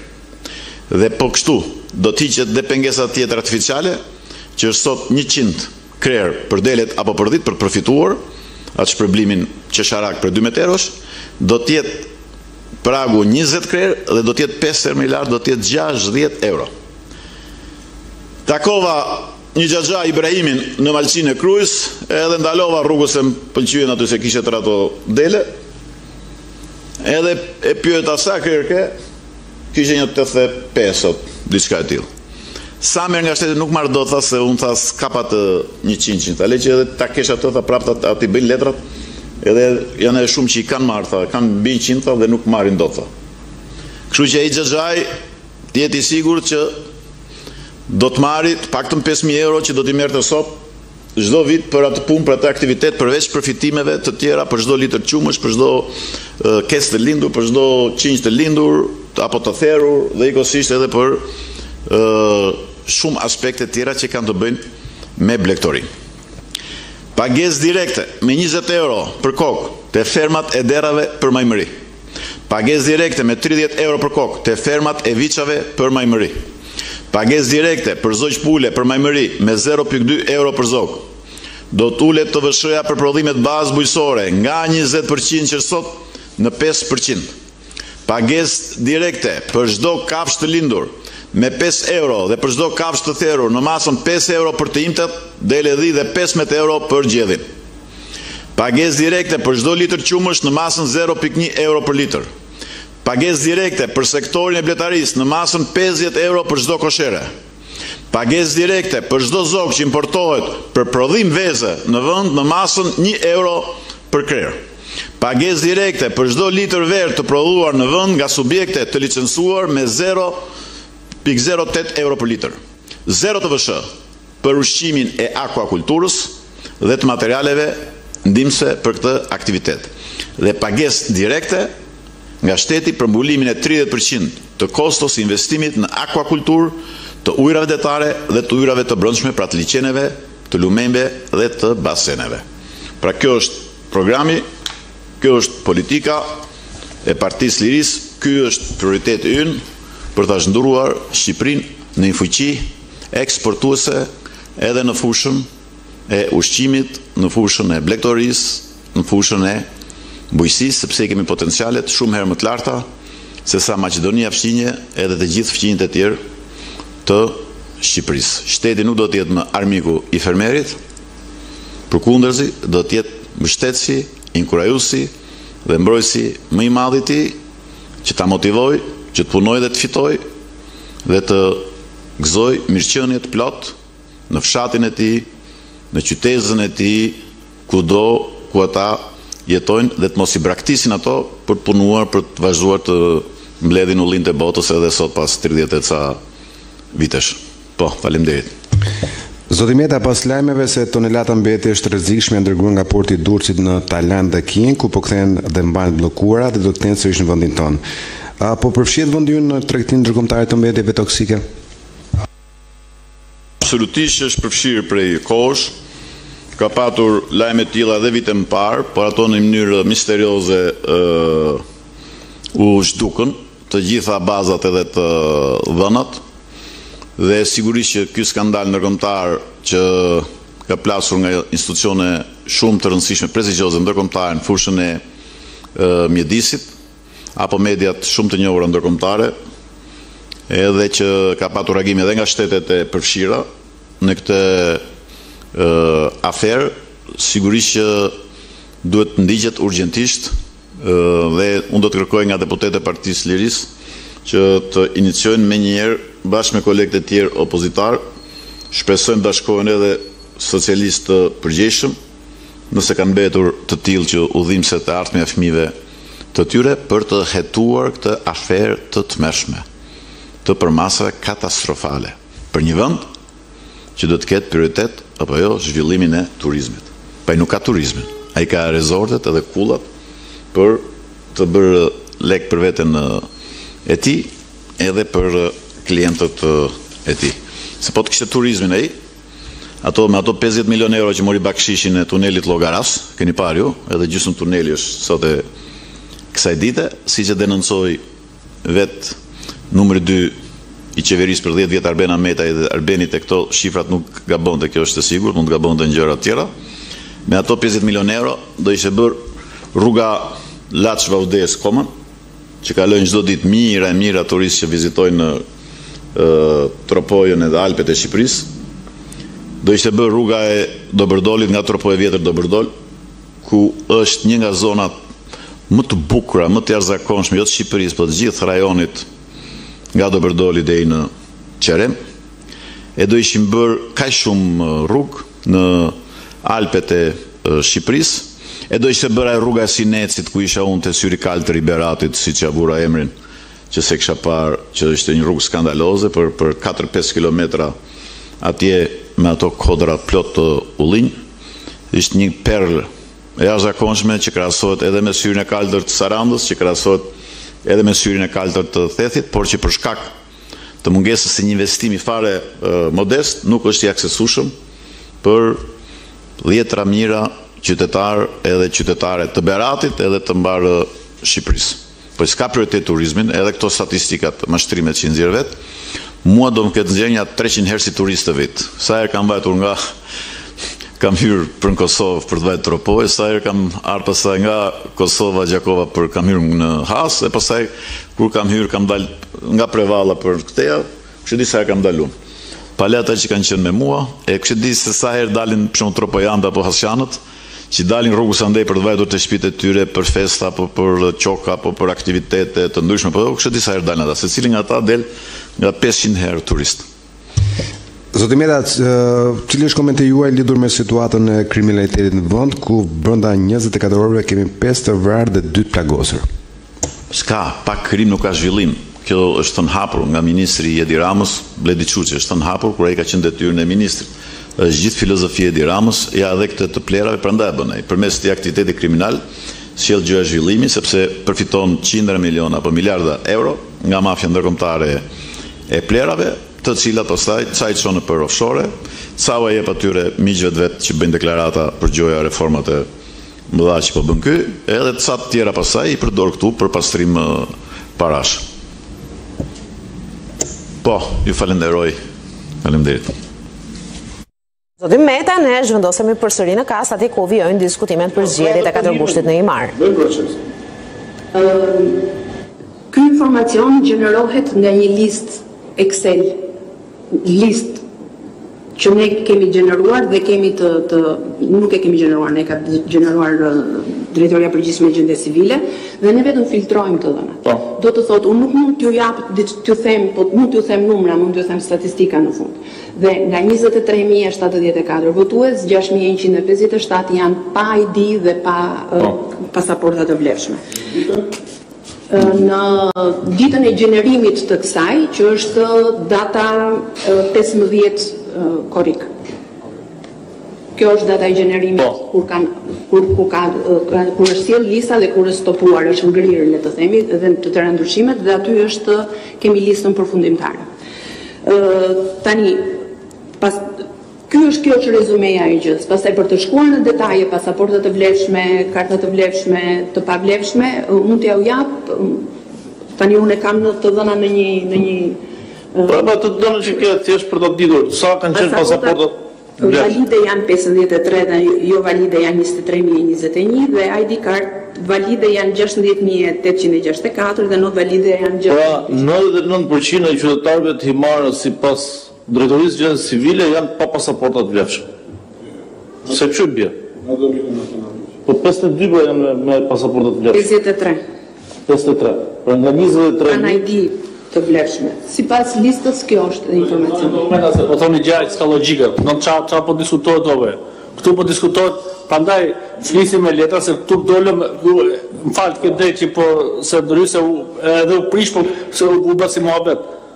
Pra, pa logjikë fare. Të diskutosh që Një sekondë. ai ata njerëz atje shesin Ke pyetje blejnë për o ty. Ervin, ke pyetje? Po pyetje Po bëj kam. pyetjen ose Atëherë bëj kam pyetje? pyetje. Ju lutem Ta na vini në dispozicion Po. këto po, me dokumentacionin. Kaq. Po. Tabelën e Excelit vërja në dispozicion zotit Salianji, që t'i bëjë vetë filtrat dhe t'i dalin se sa himariotë janë me pasaporta të vlefshme. Po shifra mua më duket jo realiste, nuk e di, pasi njëmarrë s'ka njeri pasaport, po. Tani, ju thoni, që nga njëzet e tre mijë zgjedhës, gjashtë mijë e njëqind e pesëdhjetë nuk kanë pasur këto dy dokumenta. Po, gjashtë mijë e njëqind e pesëdhjetë e shtatë. Po, tani kjo nuk i kanë pas të dy dokumentat. Po kjo nuk vjen nga nga doli, se kuptova. Se i bie që. Jo, referencë, zoti Brahu mori vetëm pasaportat. Po, për të votuar mund të kesh pasaportë dhe kartë identiteti, nuk ka lidhje.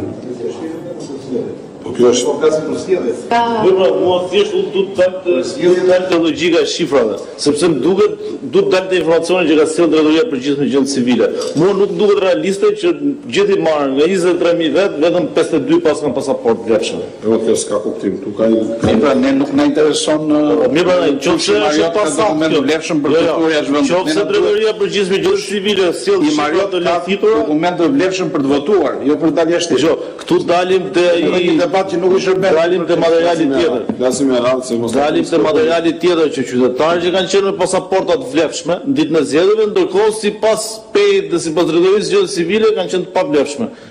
Thjesht këtë dua unë të të të argumentoj, se nuk më intereson se sa dalin jashtë shtetit apo jo ata. Tani kjo është kjo është deduksion dhe ne po bëjmë lojra fjalësh. Ajo që ne kemi shifër të administruar është shifra e personave lista e zgjedhësve. Kemi një dokument këtu të lëshuar nga Komisioneri i i Zgjedhjeve i cili thotë njëzet e tre mijë e shtatëdhjetë e katër zgjedhës. Okej? Për konsum publik dhe nuk e di për ç'arsye u hodh një shifër dhe u tha janë gjashtë mijë e njëqind e pesëdhjetë e shtatë persona që nuk kanë. Nuk e di pse duhej thënë ajo, është problemi i KQZ-së ta gjejë me veten. Gjithsesi ne pyetëm drejtoreshën nga del kjo shifër dhe na shpjegoi një kuerie statistike që ata bëjnë. Nuk na ka interesuar ndonjëherë ne në proces, në këtë proces se kush qytetar zgjedh ta rinovojë apo mos ta rinovojë dokumentin. Është zgjedhja e tij, dikush e lë fare nënshtetësinë shqiptare, dikush ka nënshtetësi të dyfishtë, këto janë problemet e qytetarit. Në kuptueshmërinë time, ditën e zgjedhjeve personi me dokument të vlefshëm shkon dhe nëse ka interes voton. Para që dokumenti është i vlefshëm është i pavlefshëm. Tani ne mund të hyjmë e të bëjmë sofizma këtu, kemi mjaftueshëm juristë, bëjmë lojë fjalësh e ta mbajmë debatin deri në darkë. Unë nuk lodhem, mund ta vazhdojmë deri në darkë këtë, por nuk do nxjerrim gjë. Do rrojmë seriozitetin. Nuk e kam për të bërë debat deri në darkë. Tani, ajo është lajthitje, se nuk ka mundësi të ketë njëzet e ca pasaporta. Po si lajthitje, po lajthitje me zyrtare, është lajthitje zyrtare. Le të kemi një shkresë. Tani hajde të ngatrojmë administratën e KQZ-së ta kapim me fjalë. Unë nuk kam ndërmend të ngatroj asnjë. Unë thjesht dua të dal këtu. Te zgjedhjet e Kukësit. A kanë votuar qytetarë me dokumenta të pavlefshme të të skaduara pra që kishte kaluar afati?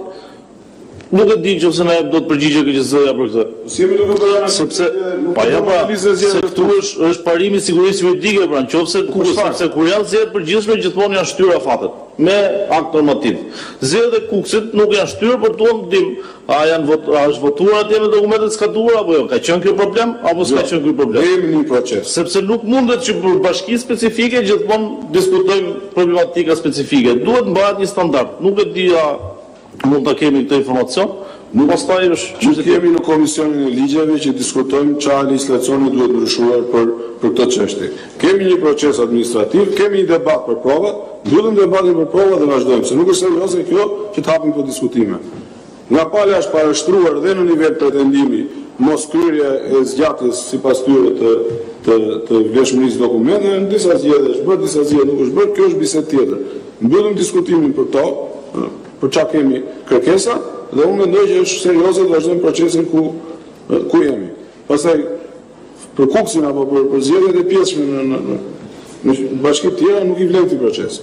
Di që nuk është çështje serioziteti këtë e vlerësojnë palët, por ajo që tani meqenëse po kërkohen ca prova dhe ne patjetër do marrim vendim a s'do vendosim, por duhet të kuptojmë Se ça del nga ato prova, që dhe ne të dimë a t'i kërkojmë apo nuk nuk do t'i kërkojmë dhe po s'kuptuam shifrat, se si kanë funksionu shifrat nuk arrijmë dot që të themi a kanë vlerë ato regjistra apo nuk kanë vlerë ato regjistra për procesin. Kjo është e gjitha, nuk ka asnjë natyrë tjetër. Cili është propozimi? Jo, nuk kam një propozim, unë thjesht doja të kuptoja këtë sepse shifra më dukej e pakuptimtë. Dhe doli që aq që nga shifra, 52 i kanë pasaportë. Pjesën tjetër pastaj është çështje vendimmarrje. Sa logjikë po sot vetëm. Me me tani, se është është për konsum. Kjo duhet ta verifikojë shifrat se këtu po flet një zyrtar, as po flet një. Kjo me 52 po do ato statistika si ka bërë duhet na sqarojë me shkrim këtu, se 52-shi Nuk ekziston. Dhe, dhe, dhe unë e quaj unë e quaj lapsus nga administrata, ose lapsus i kompjuterit, ose lapsus i nga shkak i lodhjes se nuk nuk ekziston që të paskan 22000 paskan ID dhe 52 pashaportë. Nuk ekziston. Fare, duhet ta Por këtu u tha që nuk ka dokument zyrtar, thjesht statistika. Statistikat do të thotë që edhe aritmetikën këtu në KQZ bën gabim. Del aritmetika gabim ndonjëherë këtu, ta ta verifikojmë atë shifrën nga e nxorrën dhe edhe pse doli. Megjithatë unë për procedurë kërkoj që të vazhdojë procesi administrativ, palët s'janë dëgjuar akoma, dëgjohen palët edhe pastaj diskutohet mbas proces, mbas parashtrimit diskutohet dhe për prova për këto të reja. Por besoj ndihmën palës ia dhatë, provat do të vinte me prova këtu të kërkonte atëherë u bë një proces paraprak për provat tani jemi te parashtrimet. Në vijim të asaj që tha përfaqësuesi i Partisë Socialiste dhe nga gjithë ky debat që doli rishtas tani nga provat e reja që na u dhanë në dispozicion vetëm pak minuta përpara, Kemi dy gjëra, dy elementë që duhet t'i theksojmë. E para, rezulton pesëdhjetë e dy apo pesëdhjetë e tre, sipas këtij informacioni që na është dhënë, pesëdhjetë e dy apo pesëdhjetë e tre qytetarë me pasaporta të vlefshëm në Bashkinë e Himarës ka mbi njëzet e tre. Ky është një, ndoshta indicie nga ajo që na u thanë dhe në fillim, a ku i keni indiciet? Ja ku janë dhe indiciet, ku ne duam ta lidhim edhe këtë me Atë informacionin tjetër të kartave që janë apo pashaportave që janë të vlefshme, ndërkohë gjendja civile apo pej apo pak rëndësi ka kush e ka bërë del sikur personi i ka të pavlefshme ato dokumenta dhe mund të jetë penguar të votojë. Pra kemi të paktën disa raste këtu që janë konkrete në dokumentacionin që të gjithë e kemi tani në dispozicion. Pra kemi dy indicie të forta, tani nuk dimë se sa mund të jenë të tjera. As besoj dhe KQZ nuk e di sa mund të jenë raste të tilla të tjera. Çfarë po kërkojmë, ashtu sikundër e tha dhe kolegu, le të na vihen në dispozicion këto prova. E ripërsëris edhe një herë, kërkojmë marrjen e provës nga KASI te kutitë e materialeve zgjedhore për ato dy elementë që ne kërkuam, pikën tre dhe pikën katër, kopjet e regjistrave të posaçëm, kopjet e procesverbaleve etj etj, sipas kërkesës tonë, Dhe pa marrë këto, unë gjykoj se nuk mund të vijojmë debatin më tutje. Faleminderit.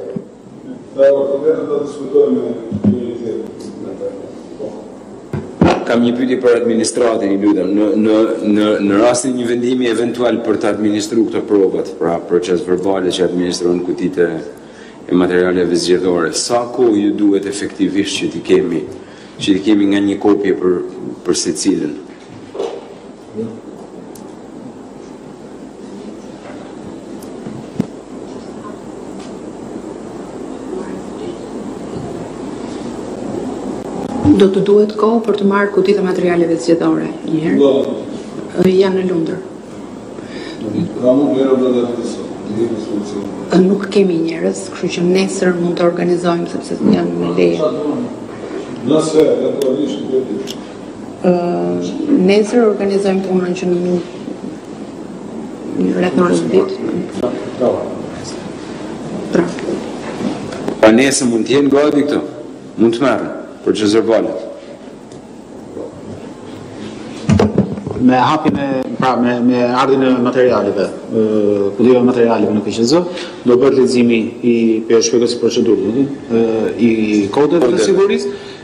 Për çdo qendër votimi do.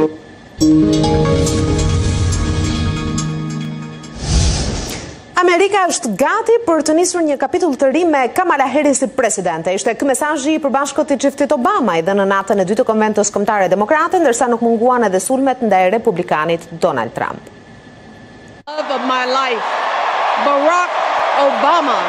Amerika është gati për një kapitull të ri. Me këtë apel ish-presidenti amerikan Barack Obama iu drejtua demokratëve dhe qytetarëve në Konventën Kombëtare që të mbështesin Kamala Harris për presidente. Ne nuk kemi nevojë për katër vite të tjera me rrëmujë, trazira dhe kaos. Ne e kemi parë njëherë atë film dhe të gjithë e dimë se zakonisht vazhdimi është edhe më keq. Prandaj Amerika është gati për një histori më të mirë. Ne jemi gati për Kamala Harris presidente. Një fjalim të mbushur me pasion mbajti edhe ish zonja e parë amerikane Michelle Obama në mbrëmjen e dytë të konventës kombëtare demokrate në Chicago. Ajo tha se me Harris ndan të njëjtat vlera, Mishërimi i historive që i tregojmë vetes për këtë vend. Historia e saj është historia juaj, është historia ime, është historia e shumicës dërmuese të amerikanëve që përpiqen të ndërtojnë një jetë më të mirë. Çifti Obama vlerësoi figurën dhe jetën politike të Presidentit Joe Biden, duke nënvizuar se ai mbrojti demokracinë kur ishte në rrezik. Gjithashtu nuk i kursyen sulmet ndaj kandidatit republikan Donald Trump. Në natën e dytë të Konventës Kombëtare Demokrate u bë dhe numërimi i votave ku rezultoi se Kamala Harris ka fituar nominimin, të cilin e pranoi simbolikisht. Sondazhet tregojnë një garë të ngushtë me Harris me një avantazh të vogël ndaj Trump, Por zgjedhjet presidenciale amerikane do të vendosen nga disa shtete kryesore. Moska ka përjetuar një nga momentet më të vështira të dy viteve të fundit luftë kundër Ukrainës. Kryeqyteti rus ka qenë target i sulmeve me dronë nga ushtria ukrainase, por pa sukses pasi mbrojtja ruse rrëzoi pjesën më të madhe të tyre. Për Dmitry Medvedev, sulmet e fundit të Ukrainës kanë minuar përfundimisht përpjekjet për paqe. Kryeqyteti i Rusisë, Moska ka qenë target i sulmeve të fundit të ushtrisë ukrainase. Mbrojtja ajrore ruse rrëzoi dhjetë dronë mbi Moskë dhe rrethinat e saj, bëri të ditë kryebashkiaku i Moskës, Sergei Sobyanin, në një postim në Telegram. Mbrojtja e shkallëzuar e Moskës kundër sulmeve të armikut bëri të mundur zmbrapsjen e të gjitha sulmeve. Kjo ishte një nga përpjekjet më të mëdha për të sulmuar Moskën me ndihmën e dronëve, shtoi Sobyanin. Dyzet e pesë dronë sulmuan rajone të ndryshme të Rusisë gjatë natës, ku vetëm njëmbëdhjetë ranë mbi rajonin e Moskës. Njëzet e tre u shkatërruan mbi rajonin Bryansk, gjashtë mbi Belgorod, tre mbi rajonin Kaluga dhe dy mbi Kursk, tha Ministria e Mbrojtjes e Rusisë në një deklaratë të sajën. Ukraina nuk ka komentuar ende për sulmin e fundit të madh me dronë te Rusisë, por tha se forcat e saj goditën një kompleks raketor antiajror S treqind në Rostov, por ende nuk është konfirmuar nëse ai është shkatërruar. Si pasojë e sulmit, ka reaguar njeriu hije i Vladimir Putin, Dmitry Medvedev, Moska nuk do të mbajë bisedime me Ukrainën pas sulmit të Kievit në rajonin e Kurskut, derisa armiku të mposhtet plotësisht, shkroi nënkryetari i Këshillit të Sigurisë ruse në X. Ndërkohë, në një raport të tij, Pentagoni beson se lufta e Rusisë kundër Ukrainës ka arritur në një rrugë pa krye, citon Bloomberg. Sipas ekspertëve të inteligjencës ushtarake, as Ukraina dhe as Rusia nuk kanë mjetet për të nisur një ofensivë të madhe kundër njëra-tjetrës. Veçanërisht Kievi nuk ka municione të mjaftueshme për të krahasuar aftësinë e Rusisë për të gjuajtur rreth dhjetë mijë artileri në ditë. Edhe pasi Kongresi i SHBA-së dha ndihmën e tij ushtarake në prill, trupat ukrainase janë ende në gjendje të kryejnë operacione mbrojtëse, por nuk do të jenë në gjendje të nisin një kundërofensivë në shkallë të gjerë për të paktën gjashtë muaj, thotë Pentagoni. Paqja midis Izraelit dhe Hamasit ka shumë pak gjasa të ndodhë në të ardhmen e afërt, është vetë kryeministri izraelit Benjamin Netanyahu, i cili ka kërkuar me këmbëngulje një fuqizim të trupave izraelite në Gaza. Ndërkohë përpjekjet e sekretarit amerikan të Shtetit Antony Blinken për paqe po dështojnë.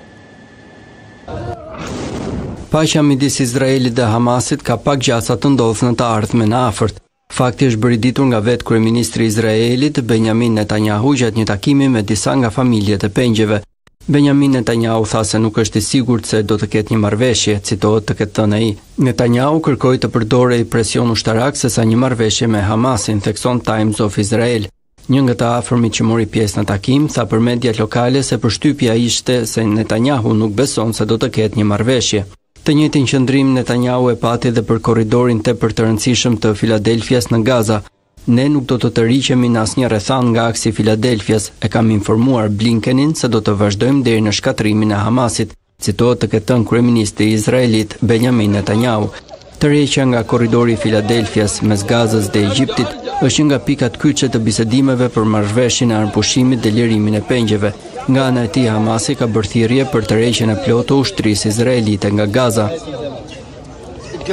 Ndërkohë, Izraeli ka vijuar me fushatën e tij të bombardimeve në Gaza, Të paktën dymbëdhjetë persona janë vrarë në një sulm ajror izraelit në një shkollë ku strehohen palestinezët e zhvendosur, thanë autoritetet palestineze shëndetësore.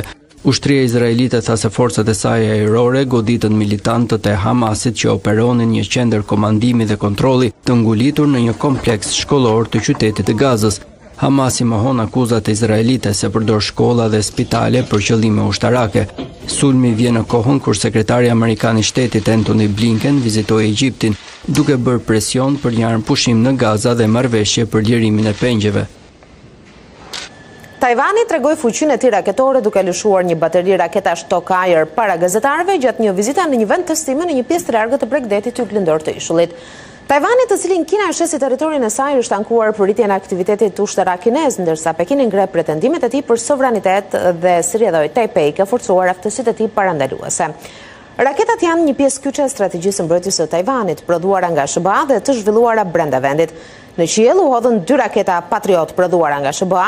Të gjitha raketat që janë lëshuar sot kanë goditur pa probleme dhe kanë dëshmuar dy pika. E para është që trajnimi i ushtarëve tanë është shumë solid,